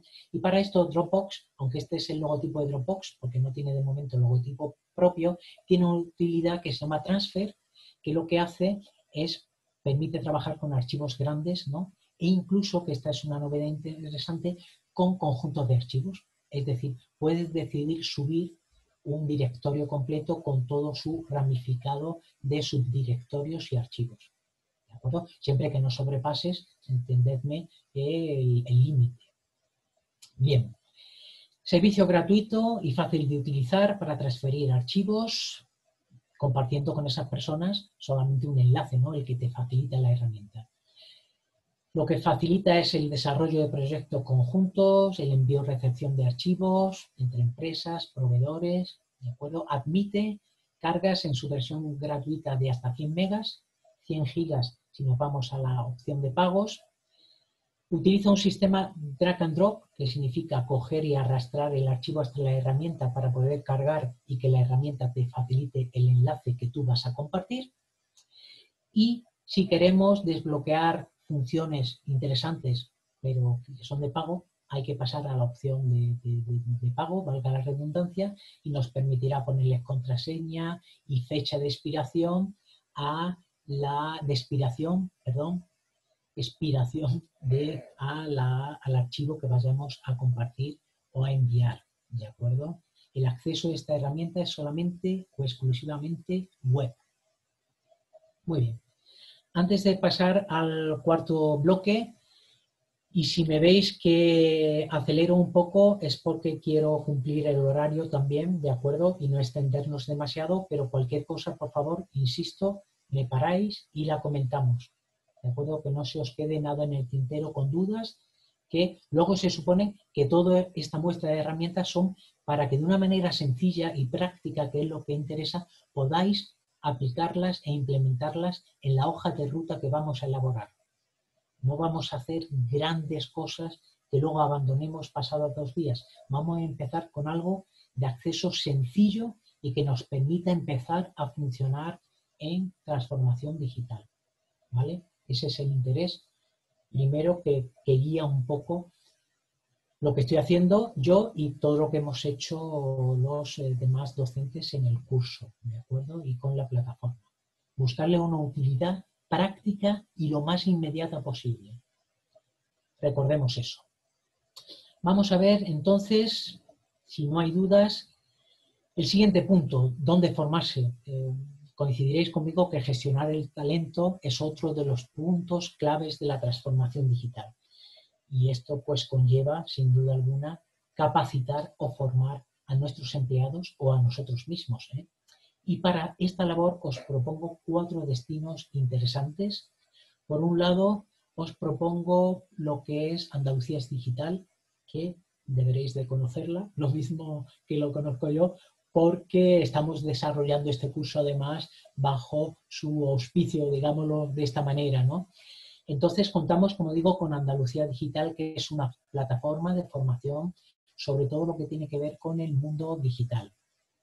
Es un servicio gratuito de formación con un amplio catálogo dirigido tanto a la ciudadanía como a empresas TIC de manera específica, a pymes, autónomos, y es un catálogo amplísimo de cursos online, autoformaciones, webinars, MOOC, los Massive Online Open Courses o cursos abiertos online masivos, miles de recursos, ¿de acuerdo? Herramienta súper importante e imprescindible para continuar formándonos a nosotros mismos o a nuestros empleados. Por otro lado, tenemos una herramienta que ya nombramos al principio, perdón, y que la nombramos con ocasión del Digital Selling Index, ese índice de autoevaluación de venta digital, ¿de acuerdo? De acuerdo, pero ahora la cito porque en sí pues contiene más de 50 píldoras informativas impartidas además por primeras figuras del mundo empresarial y tiene pues un servicio gratuito de formación. Está además hecho a base de mini vídeos de tres minutos solamente sobre cuestiones claves de comunicación, ventas, gestión, contenido, soft skills, ¿de acuerdo? Entonces, muy interesante la herramienta. Y en la segunda parte de cómo formarnos, vamos a ver dos herramientas más. Por un lado, Google Primer, que bueno, que lo que hace es confirmar que el smartphone es el rey, con permiso del cliente y la clienta, de acuerdo, es el rey eh, y que esto no tiene duda, ¿no?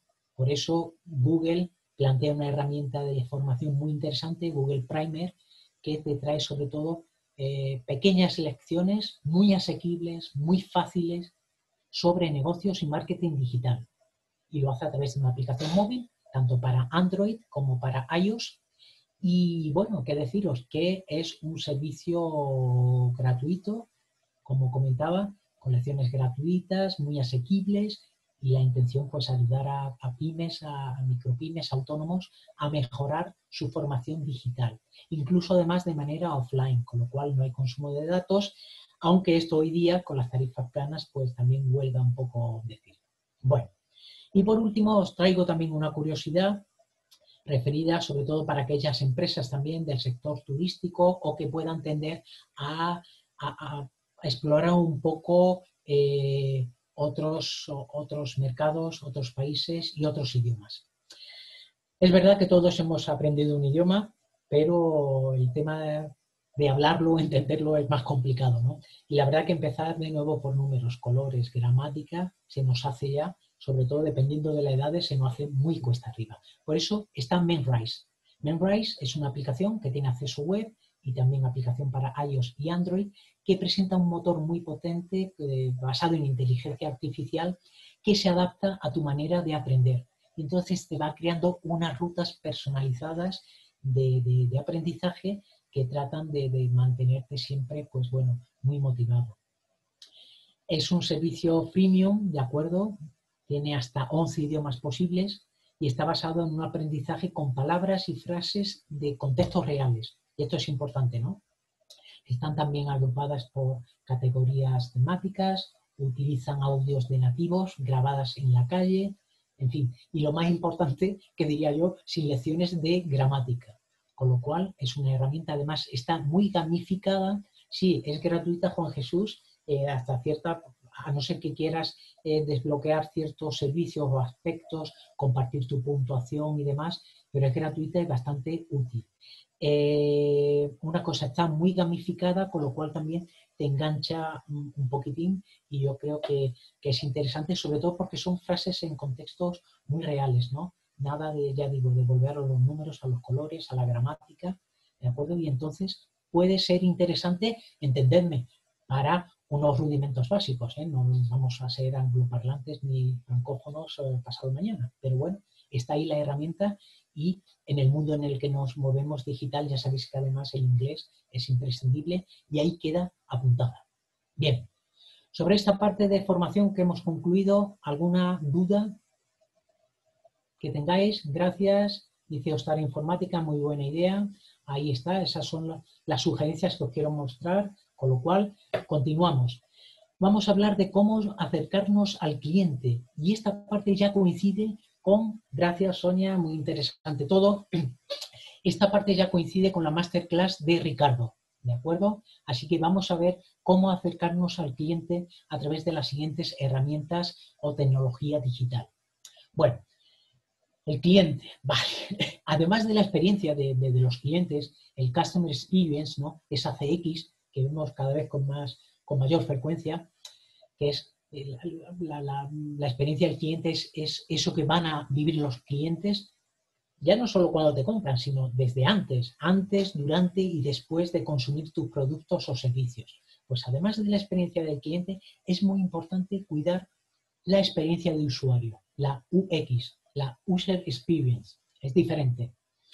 La User Experience es cuando el, eh, el usuario está interactuando con tu sitio web. Pues bien, vamos a centrarnos también en mejorar esa experiencia. Al fin y al cabo, es experiencia del cliente, ¿no? Pero es una experiencia más específica, cuando está interactuando con tu sitio web, ¿de acuerdo? O con tu e-commerce. Y también es importante, además de la Customer Experience, la User Experience, encontrar o la posibilidad de encontrar o abrirte a nuevos mercados. Y para esas eh, tres finalidades vamos a ver tres herramientas de Google súper interesantes. Vamos a empezar con Google Test My Site. ¿De acuerdo? Vamos a ver si quiere arrancar la diapositiva. Ahí la tenemos. Google Test My Site. Literalmente, Google testea, prueba mi sitio web. ¿De acuerdo? Hoy en día coincidiréis conmigo en que no basta con que un sitio web sea responsive. ¿Nos recomiendas crear una web a través de Google? ¿La posicionará mejor, Juan Jesús? Uf, preguntaza. preguntaza porque, porque mm, imagino que, que no. Si es verdad que estas herramientas las que vamos a ver, como son de Google, te van a dar consejos muy buenos que seguramente sean lo, que buscan luego sus, sus, rods o sus, eh, sus motores de búsqueda para posicionarte bien, ¿de acuerdo? Los consejos que te den estas herramientas, insisto, que son de Google, te van a servir muy mucho. Ahora, crear ya la web a través de Google para que la posicione mejor. Primero lo desconozco y después si, si, me permites, creo que sería muy fácil, muy fácil decir, oye, he dado con la clave y me va a situar simplemente con aplicando, aplicando SEO sin tener que investir, eh, invertir perdón, en SEM, me va a situar y he dado con la clave y no lo voy a comentar con nadie para seguir el primero. Pero bueno, mm, por eso, posibilidad de un dominio comprado en Google. No lo sé. Yo lo que siempre trato de recomendar es que el dominio lo tengamos independientemente del alojamiento, para poder cambiar de alojamiento sin tener que tener vendido el dominio registrado con los mismos que nos alojan. Google, cuando vas a dar, por ejemplo, con el extinto eh, G Suite o G Suite, la, aplicación estas, eh, te daba la posibilidad de registrar su dominio con ellos. Lo puedes hacer.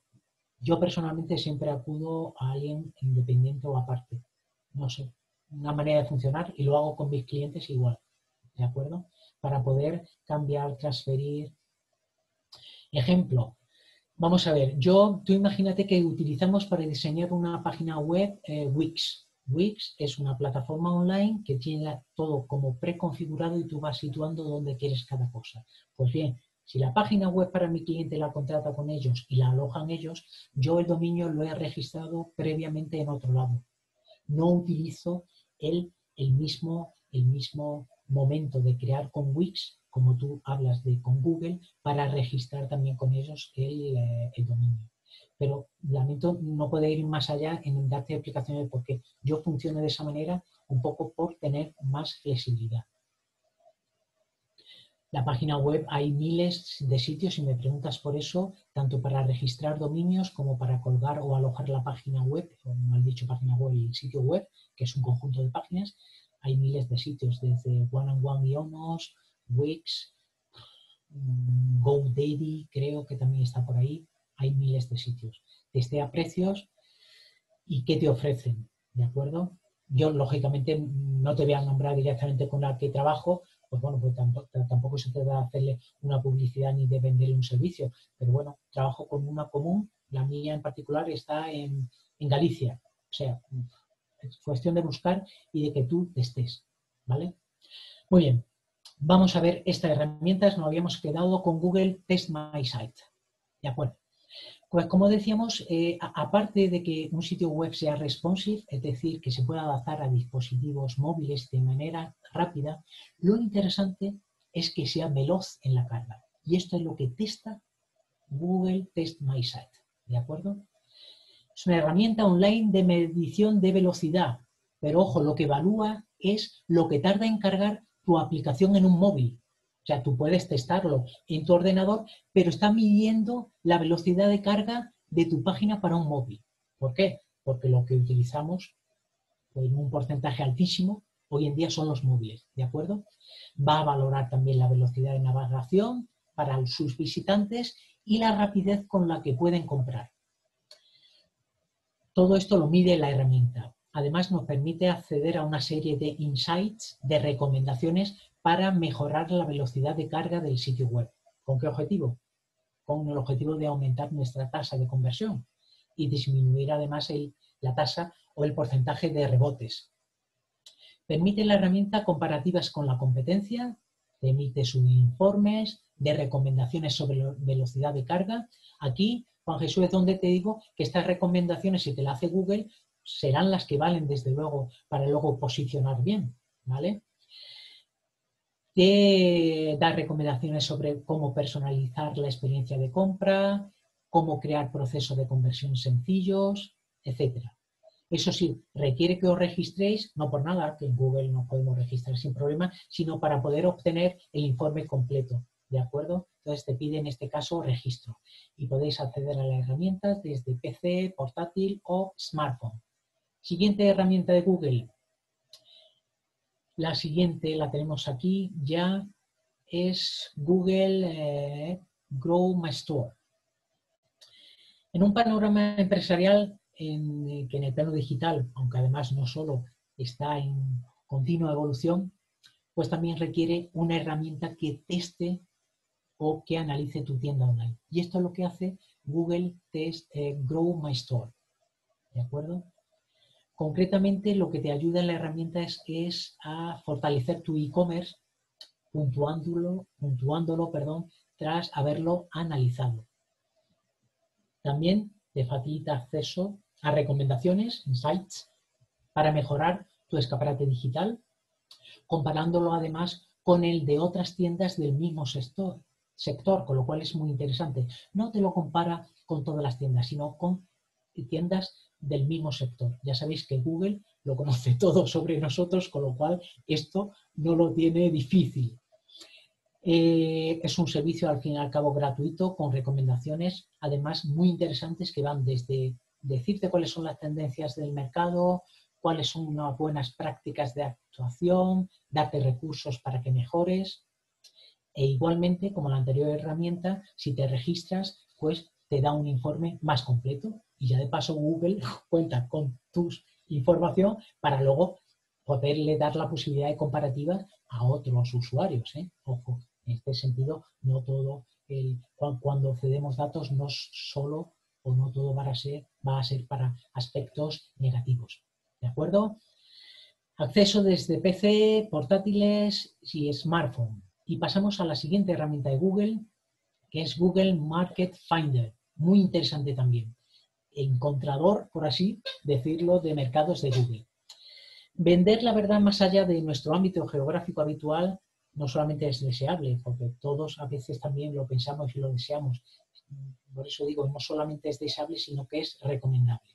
Aunque sí es verdad que siempre ha estado muy limitado porque era un trabajo muy especializado y también porque requería un desembolso muy importante económico.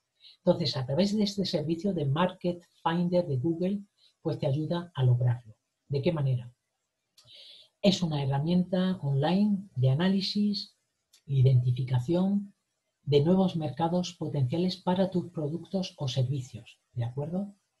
Te permite, eh, pues bueno, mm, identificar mercados potenciales, ¿de acuerdo? Te facilita, igual que las anteriores, acceder a recomendaciones, fijaros qué importante, sobre el comportamiento del consumidor en diferentes países, incluso cuáles son sus métodos de pago preferidos, cómo prefieren los envíos, qué tendencias son dominantes en ese país.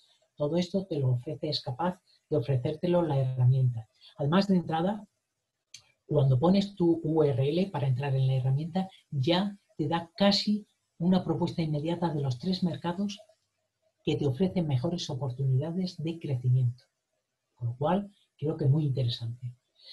Requiere también igualmente un registro para obtener el informe completo y acceso desde web, portátiles, smartphones. Bien, segunda parte de herramientas para acercarnos al cliente, que además de conocerlo es lo que nos interesa, acercarnos a él. Y muchas veces a través de estas herramientas podemos conocerlo un poco mejor. No cabe duda, permitidme ver un poquito de agua que las redes sociales hoy en día se han convertido en un medio primordial para interactuar directamente con la clientela, para conocerla, para mejorar su, experiencia sobre nuestros productos y también para potenciar nuestra propia imagen de marca. Sin embargo, siempre lo digo, no habría peor decisión que la de querer estar en todas las redes sociales y no ser capaces de administrarlas correctamente. También creo que lo nombraba por ahí Ricardo, es decir, tenerlas desatendidas o desactualizadas. Por eso yo siempre recomiendo, y fijaros en la pregunta que tenemos en la diapositiva, ¿en cuántas redes sociales estás? En todas, en las que está mi cliente y que puedo administrar. Esos son los dos puntos fundamentales para a la pregunta de ¿dónde me voy? ¿En qué red social estoy? Principalmente en la que está tu cliente y en todas aquellas, si son varias, que puedas administrar. Si no, apaga y vámonos. La publicación de contenidos en, redes sociales mm, puede llevarnos, y además de hecho lo hace, como mínimo, el doble del tiempo que inicialmente habíamos calculado que nos llevaría. Esto me lo confirmaréis sí o sí porque creo que nos pasa a todos. El doble de tiempo como mínimo. Entonces, para combatir esta sustracción, este robo de tiempo tan importante, robo de tiempo de trabajo además, surgen aplicaciones como Hootsuite, Buffer o Metricool. Hay más, pero yo os nombro estas tres como principales, que lo que nos permiten es la tarea de gestionar las publicaciones en redes sociales. Son plataformas online para planificar, colaborar, publicar contenidos en las redes sociales de nuestra empresa. Nos va a ayudar a mejorar el control de aquello que publicamos, cuando lo publicamos en distintas redes sociales y también nos van a mostrar incluso la relevancia que adquieren determinadas publicaciones.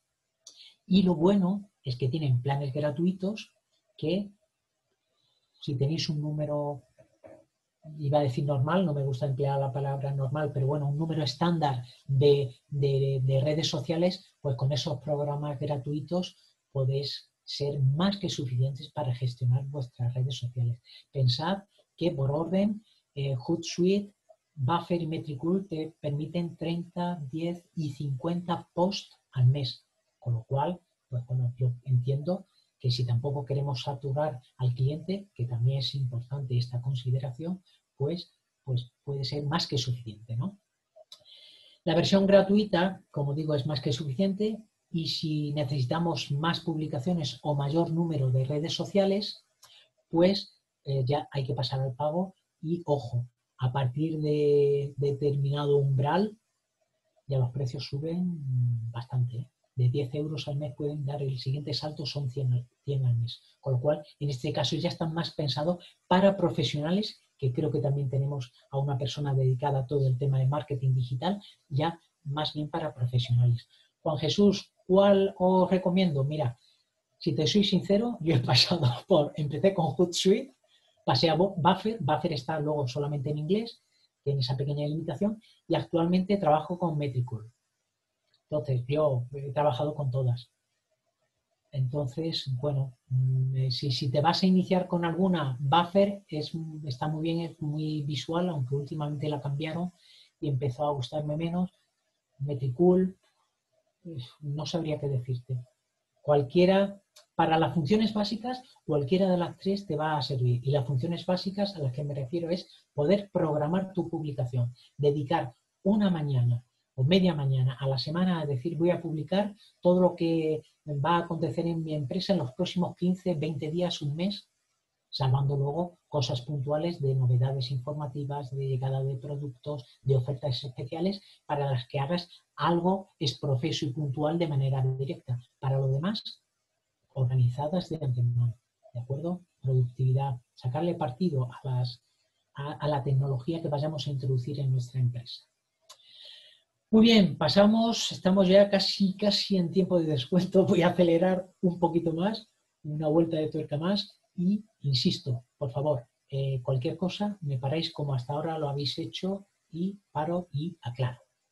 Bien, vamos a ver, ahora ya nos vamos a remontar al grupo de, herramientas que hacen referencia a la última masterclass, la que estuvimos este martes pasado con, perdonad, pero ya se me revela hasta la transparencia.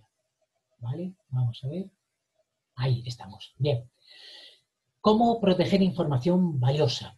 Si queremos, mm, desde luego, generar confianza entre nuestros clientes, proveedores, incluso entre nuestro propio equipo humano, lo decía Jaime el martes, la seguridad debe ser una, desde luego, una de las prioridades de nuestra estrategia.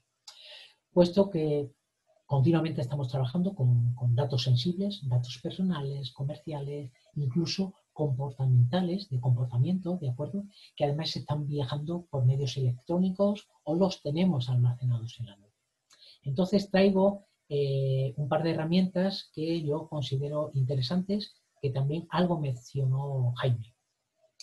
Por un lado tenemos eh, la herramienta LastPass, eh, perdón, LastPass, la última contraseña, como, como indica su traducción, y es verdad que cuando todo lo que trabajamos, casi todo está en Internet, incluso el software de propiedad ya pasa a ser apps que, ruedan y son residentes en la nube y ya lo que pagamos es una mensualidad, ¿de acuerdo?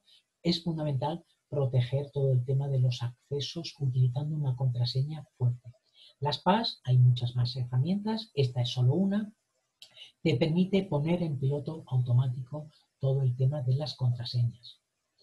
Las PAS se caracteriza porque nos ayuda a incrementar la seguridad de los accesos a aplicaciones o a servicios utilizando contraseñas fuertes que se crean de manera exprofeso y automática si queremos, aunque también la podemos elegir, para cada aplicación. Va a mejorar nuestra productividad porque evita perder tiempo recordando contraseñas olvidadas o restableciendo contraseñas que hemos perdido. Inicia sesión en la aplicación, esa es la única contraseña que te debes de aprender y todas las demás las gestiona creándolas, entrando y saliendo la aplicación. Como digo, eh, son autogeneración de contraseñas fuertes, incluso también es capaz de cumplimentarte automáticamente determinados campos de datos personales, de pago, de envío. Y además, una cosa muy importante que te permite la herramienta es compartir contraseñas de manera segura. Nada de enviar contraseñas por SMS o WhatsApp, ¿vale? Por favor, podemos utilizar esta herramienta gratuita para enviar esa contraseña si en un momento dado tenemos que compartirla y luego, por supuesto, cambiarla. ¿De acuerdo? Bien, la versión gratuita es más que suficiente. ¿De acuerdo? Si queremos más opciones, habría que suscribirse, pero con la gratuita es más que suficiente y llama la atención de que tiene extensión casi para todos los navegadores, además de aplicación móvil para iOS y Android. Bien, la siguiente herramienta que vemos en esta labor de proteger la información valiosa es eh, Free File Sync, que literalmente es sincronización de archivos gratuita. Es más que recomendable, insistió Jaime, tener una copia de seguridad de respaldo de todos nuestros archivos. Pero ojo, frente al respaldo de nuestros archivos tenemos dos posibilidades. O realizar un backup frecuente de todos los archivos, es decir, copiar todos los archivos eh, enteros cada vez que hagamos el backup, o una más sencilla que nos va a ahorrar tiempo, que es comparar y sincronizar solo los archivos que han sufrido cambios. Esto es una manera más eficiente de funcionar. Y esta es la función de Free File Sync, ¿de acuerdo? Que es esta herramienta cuyo logotipo tenéis en pantalla. Mejora la eficiencia de los procesos del backup puesto que compara los archivos entre dos almacenes diferentes, imaginaros disco C, la unidad D, y sincroniza solamente las carpetas o los archivos que o bien han cambiado, o bien se han creado nuevos, o bien se han eliminado. Solamente sincroniza eso. Nos está ahorrando tiempo. El gratuito, de acuerdo, es un sistema software open source y multiplataforma. Nos funciona tanto para Windows, Linux, Mac Además, tiene una instalación muy liviana, lo cual también es de agradecer. No nos va a ralentizar los equipos, no tiene complicaciones y es fácil, es fácil de utilizar. Ojo, sí tiene esta pequeña, bueno, nota negativa, llamémosla así, que es que instala Crapware. Crapware son aplicaciones adicionales a la original que pueden ralentizar tu sistema. Por ejemplo, que es pues voy a instalar este programa que es gratuito y de código abierto, como digo, pero eh, siempre está por defecto activada una casilla de mm, activarte también o bajarte un buscador tal o un antivirus. Simplemente es tan fácil como desactivarla, estar pendiente, desactivarla para que no te suceda. Y ojo, en este tipo de herramientas es también muy importante saber la dirección en la que vamos a actualizar porque fijaros, lo que tenemos es como un espejo. Tenemos nuestra unidad C con los archivos importantes y la copia de seguridad. Si yo trabajo con los archivos importantes y ahí van surgiendo los cambios, cuando vaya a utilizar esta herramienta, que la actualización vaya desde aquí hacia aquí, ¿eh? desde mi unidad C hacia donde tengo respaldo. Porque si le indicamos la dirección errónea, lo que hace es instalar no el respaldo que posiblemente esté más desfasado en C, que es donde tengo los últimos archivos eh, trabajados. Teniendo esto en cuenta, no da mayores problemas y ahorra también tiempo, que insisto, es nuestra finalidad hoy, hacer al fin y al cabo más eficiente nuestro trabajo, nuestra empresa, etc. Vemos ahora unas herramientas que también comentó algo de pasada Jaime y que, bueno, os traigo para que podamos ver. En mayo de 2021, o sea, el mayo próximo, ya va a hacer tres años, fijaros, que entró en vigor el, Real, el eh, Reglamento General de Protección de Datos, el RGPD. Y aún hoy vemos sitios web que están sin adaptar, no solo al nuevo aviso y gestión de las cookies, que muchos lo van teniendo, sino además al resto de cambios normativos que se introdujeron en su día. Entonces, para facilitar la adecuación de las pequeñas empresas, sobre todo a esta nueva realidad, la Agencia Española de Protección de Datos, cuyo logotipo tenéis ahí, pues ha creado una serie de herramientas, facilita RGPD, facilita Emprende y comunica brecha RG, RPGD, está, está aquí mal puesto, RGPD, lo había dicho bien, pues las ha creado para ayudarnos. Son herramientas para que las empresas podamos cumplir con este reglamento. Tanto aquellas que realizan un tratamiento con datos personales de riesgo escaso o bajo, digámoslo así, como aquellas otras, como pueden ser las emprendedores, las startups, cuyos tratamientos de datos pues ya tienen un fuerte componente innovador que hace uso de nuevas tecnologías y necesitan una mayor supervisión.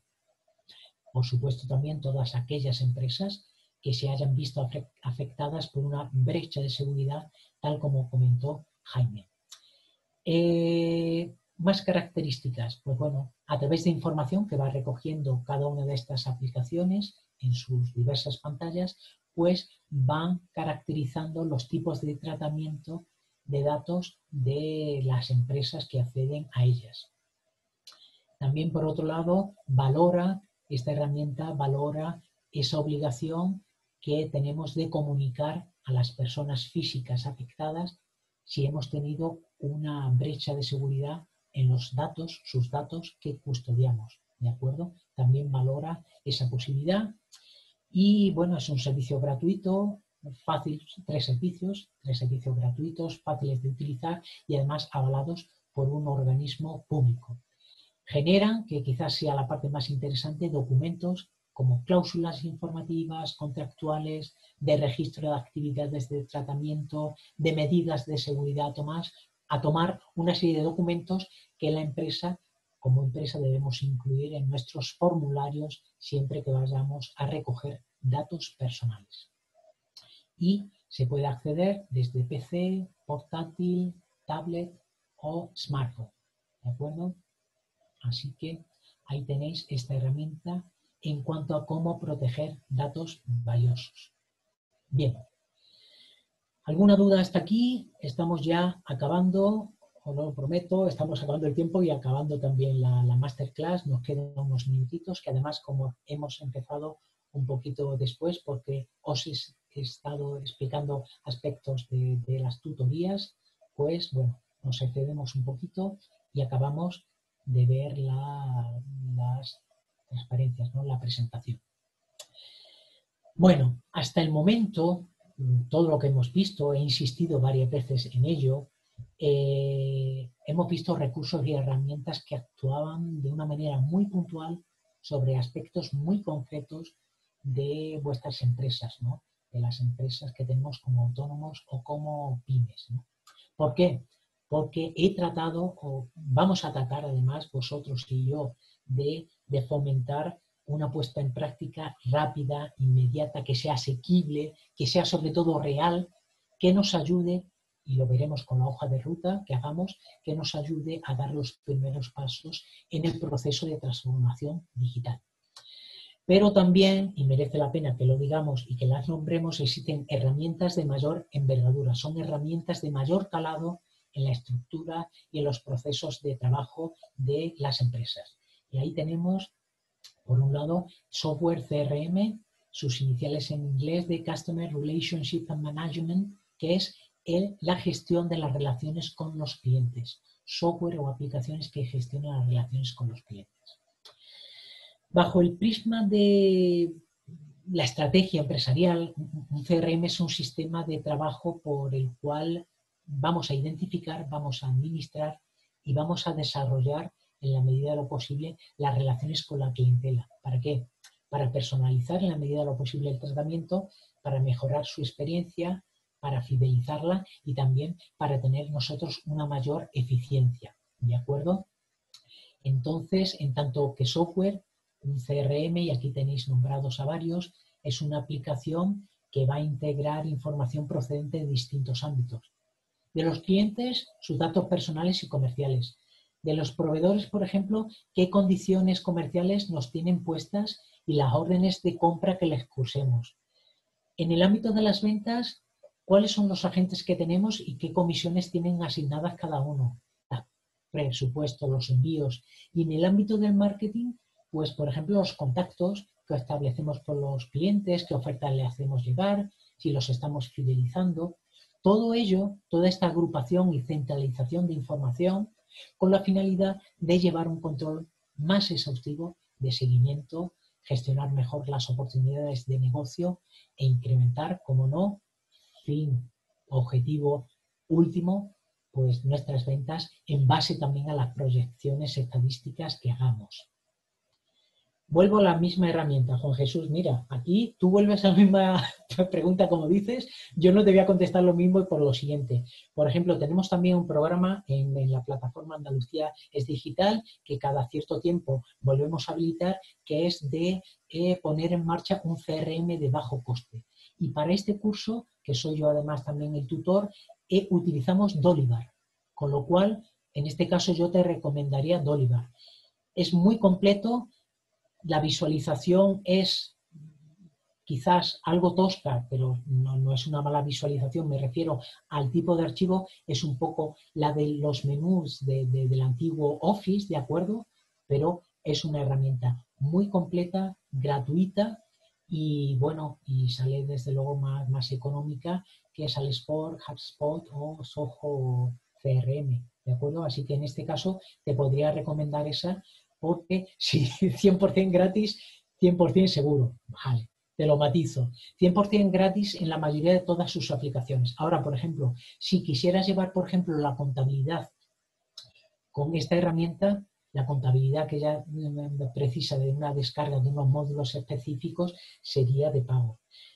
Dependiendo con qué página web o tienda online quisieras, eh, quisieras enlazar, por ejemplo, si quisiera enlazar tus ventas, también podría llevar un módulo de coste. Pero para llevar solo clientes, para llevar solo toda la documentación de presupuesto, albarán, nota de entrega, factura, para todo eso, te digo desde ya, porque ya llevo cuatro ediciones o cinco del curso, te puedo garantizar que, es gratuita, ¿vale?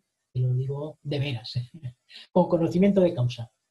¿Vale? Multiusuario, vamos a ver, podemos dar de alta varios usuarios y darle diferentes eh, accesos a la aplicación, pero en principio no hay problemas con el multiusuario. ¿vale? Bueno, si hay más preguntas, me las haces y de acuerdo y te las, te las comento. Si alguna cosa se me escapara, te la puedo incluso luego comentar más adelante de, de esta herramienta. Bien, características. Herramienta informática interna de la empresa que lo que nos va a administrar de una forma centralizada, lo acabamos de decir, fue toda una base de datos con información relacionada o que circula alrededor de la clientela. Sirve de apoyo fundamental a las relaciones con la clientela, a las ventas y al marketing. Incluso, Juan Jesús, te diré que tiene incorporado un módulo de eh, email marketing. ¿De acuerdo? Hasta eso lo tiene incorporado y es gratuito. Eh, lleva gestión de contactos y personas, seguimiento de las fases de, venta. Tiene app. tiene app. Sí es cierto que la app no está desarrollada por la propia Dolivar, con lo cual la app yo la he tenido descargada y te permite los accesos, pero mm, te diría de antemano que no es 100% fiable la app, pero la tiene. Sí es verdad que Dolivar ha sacado hace unas semanas la versión 10 y quizás con esto lo hayan cambiado y el acceso sea mejor. Pero ya te digo, al no ser la aplicación, no estar desarrollada, aunque es un software precisamente por eso open source, eh, eh, la aplicación no, la hacen ellos directamente. ¿De acuerdo? Vale. Más características. Gestión de contacto y personas, como hemos dicho, seguimiento de las fases de venta de todos sus documentos, presupuestos, albaranes, facturas, información también de la evolución del negocio porque es capaz de extraernos estadísticas, gestión de documentos comerciales, lo hemos dicho, informes y acciones de marketing a través de la herramienta de email marketing. Acceso multidispositivo en el sentido de poder utilizar la app o acceder a ella desde la aplicación que te la bajes o a través de la web, también se puede acceder a la herramienta. Y, ojo, importante en un CRM y la siguiente herramienta. Más del 70% de los casos en los que se implantan estas herramientas fallan porque se hace solo hincapié en la parte, en la parte tecnológica. Ojo, es muy importante, pero se olvida la parte humana y tenemos que involucrar a todo el personal formándolo e informándolo para llevar al éxito el uso de esta herramienta. Pensemos que son herramientas de mucho calado en la empresa, con lo cual debemos de trabajarlas también mucho. Muy bien. Por eso, además, excedería un poco el ámbito del curso si lo centramos solamente en implantar esta herramienta. Necesita mucho más. Pero todo lo que hemos visto hasta ahora lo vamos a poder trabajar perfectamente en nuestra hoja de ruta y dar el primer paso. Oye, aprendiendo a dar el primer paso, los siguientes ya los tenemos más fáciles seguramente de dar. Pasamos a la siguiente y última herramienta, en este caso software ERP o Enterprise Resource Planning o eh, planificador de los recursos de la empresa. A diferencia de, los CRM del que hemos visto anteriormente, los ERP se centran sobre todo en la gestión de las operaciones internas de la empresa y me refiero con esto a producción, a mantenimiento, a logística, a contabilidad. Aquí volvéis a tener una serie de herramientas, ¿de acuerdo?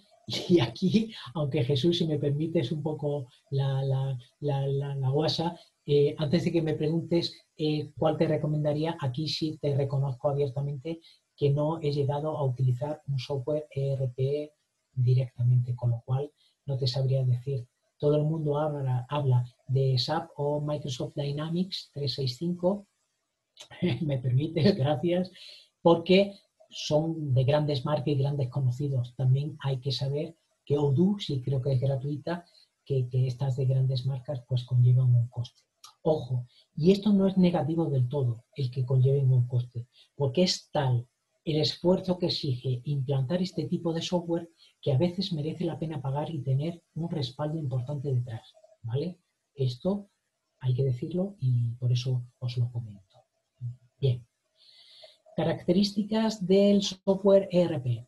Sistemas de gestión de información que lo que van a, es a integrar, automatizar, ¿por qué? Porque centralizan todos los datos también, igual que pasaba con el CRM, pues aspectos operativos o productivos de la empresa lo veíamos antes, producción, inventario, contabilidad. Va a mejorar todos los tiempos de respuesta y va a incrementar también la eficiencia en el manejo de la información. Y esto es lo que utilizamos para luego tomar las decisiones importantes.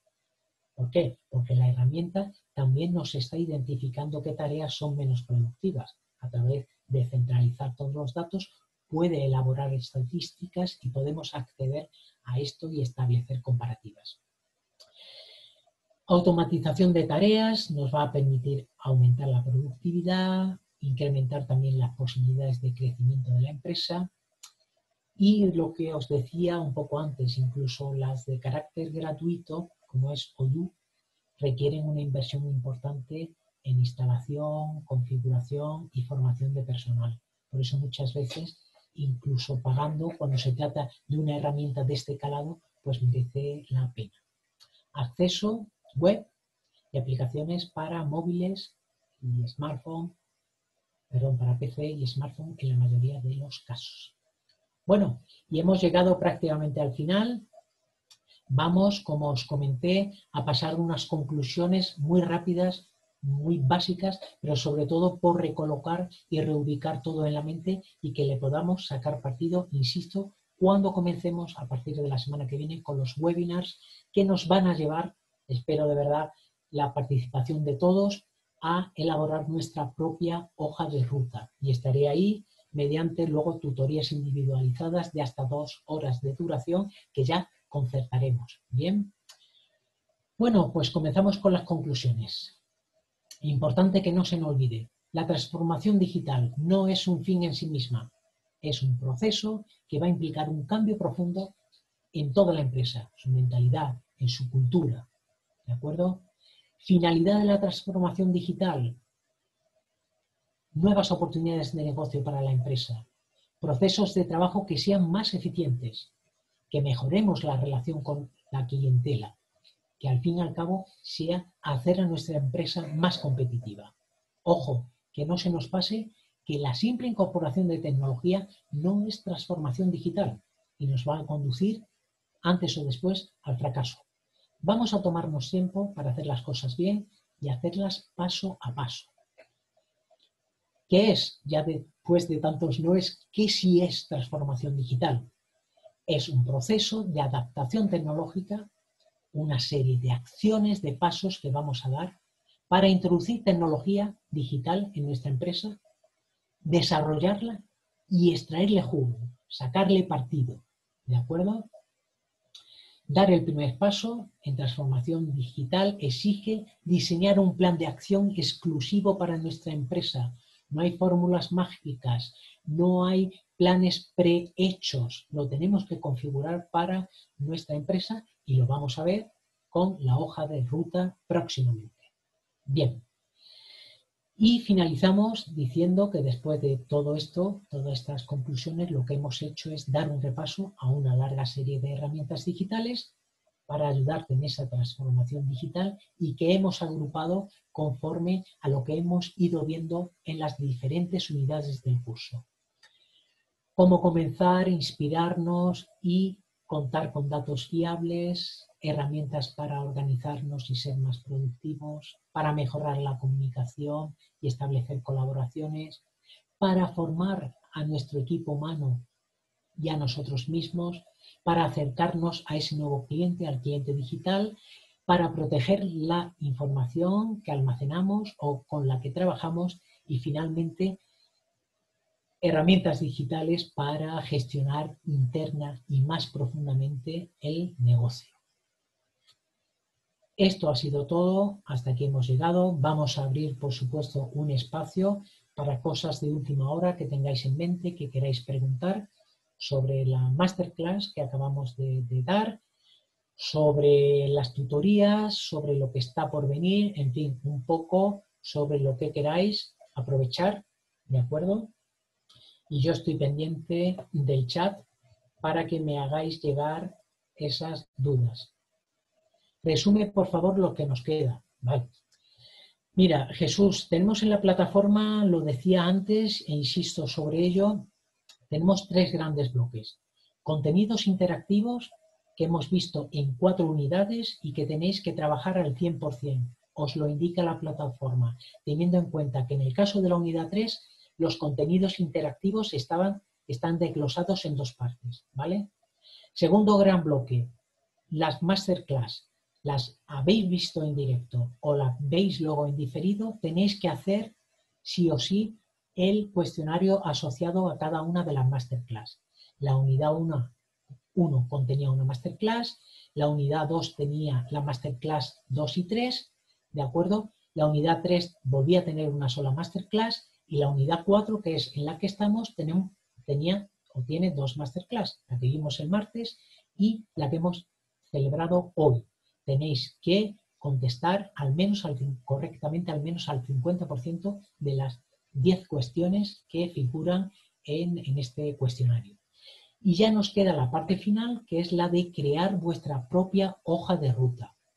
Y ojo, voluntario, pero matizo, aprovechar el servicio de asesoría que tenéis con el curso, en este caso en mis manos, que va a ser gratuita, de acuerdo, para poder hacerla, asociada con esa elaboración de la hoja de ruta, vamos a celebrar cuatro webinars, van a ser cuatro porque os vamos a dividir en cuatro grupos, para, con intención de que podamos participar de manera más directa y nos nutramos unos de otros. Pero tendréis que asistir a un webinar nada más y ya os diremos en cuál estáis y cuándo se celebra. Además, os pedimos encarecidamente que por favor rellenéis el cuestionario de satisfacción. De hecho, creo que es obligatorio además. ¿Por qué? Porque nos ayuda a mejorar y a solventar eventuales problemas o sugerencias que planteéis. ¿De acuerdo? Y luego, un poco de repesca para quien quiera, puesto que la hoja de ruta es voluntaria y no lo quiere hacer, hay una pequeña actividad que podéis hacer que es la versión más simple, más fácil, casi un poco de contestar a tres o cuatro preguntas para hacer una hoja de ruta, que también podéis hacer. Creo que he nombrado todo. Y, bueno, mm, si queréis más preguntas, estoy. Muchas gracias. Decir, decir por aquí, Cristóbal, gracias a vosotros. Gracias, Carmen, también por vuestra asistencia, por vuestro aguante y nos tenemos que seguir viendo y seguir en contacto. La plataforma va a estar abierta hasta el día 13, pero el curso continúa, ¿eh? ojo, hasta el 24 de enero, porque hay que dar cabida a todas las tutorías individualizadas y ya diremos cómo se hace. Gracias, Ostara también, me dice por aquí Ostara Informática, Manuel también, gracias Manuel, tocayo a ti, Juan, abierto hasta el 13 de diciembre. Sí, Juan Jesús, lo que es la plataforma para que hagáis todas las partes obligatorias que acabo de decir. ¿De acuerdo? Lo demás ya será trabajo que hagamos de manera individual con cada uno de vosotros. Gracias a bueno, pues muchas gracias a todos, muchas gracias Manuel. Gracias eh, a ti. Os veo por separado la semana que viene por grupo, ya os avisaremos Sí, Carmen, os avisaremos, no, no, no te quepa duda que estaréis informados y nos aseguraremos de que os llega, ¿de acuerdo? Claro que sí, claro que sí, Carmen. Te llegará un mail y te dirá qué día eh, te ha tocado, ¿de acuerdo? Gracias a ti también, eh, Luis. Nos vemos la semana que viene. Muchísimas gracias a todos y muchísimas gracias, Manuel, como siempre. Gracias. Un beso a todos. Chao.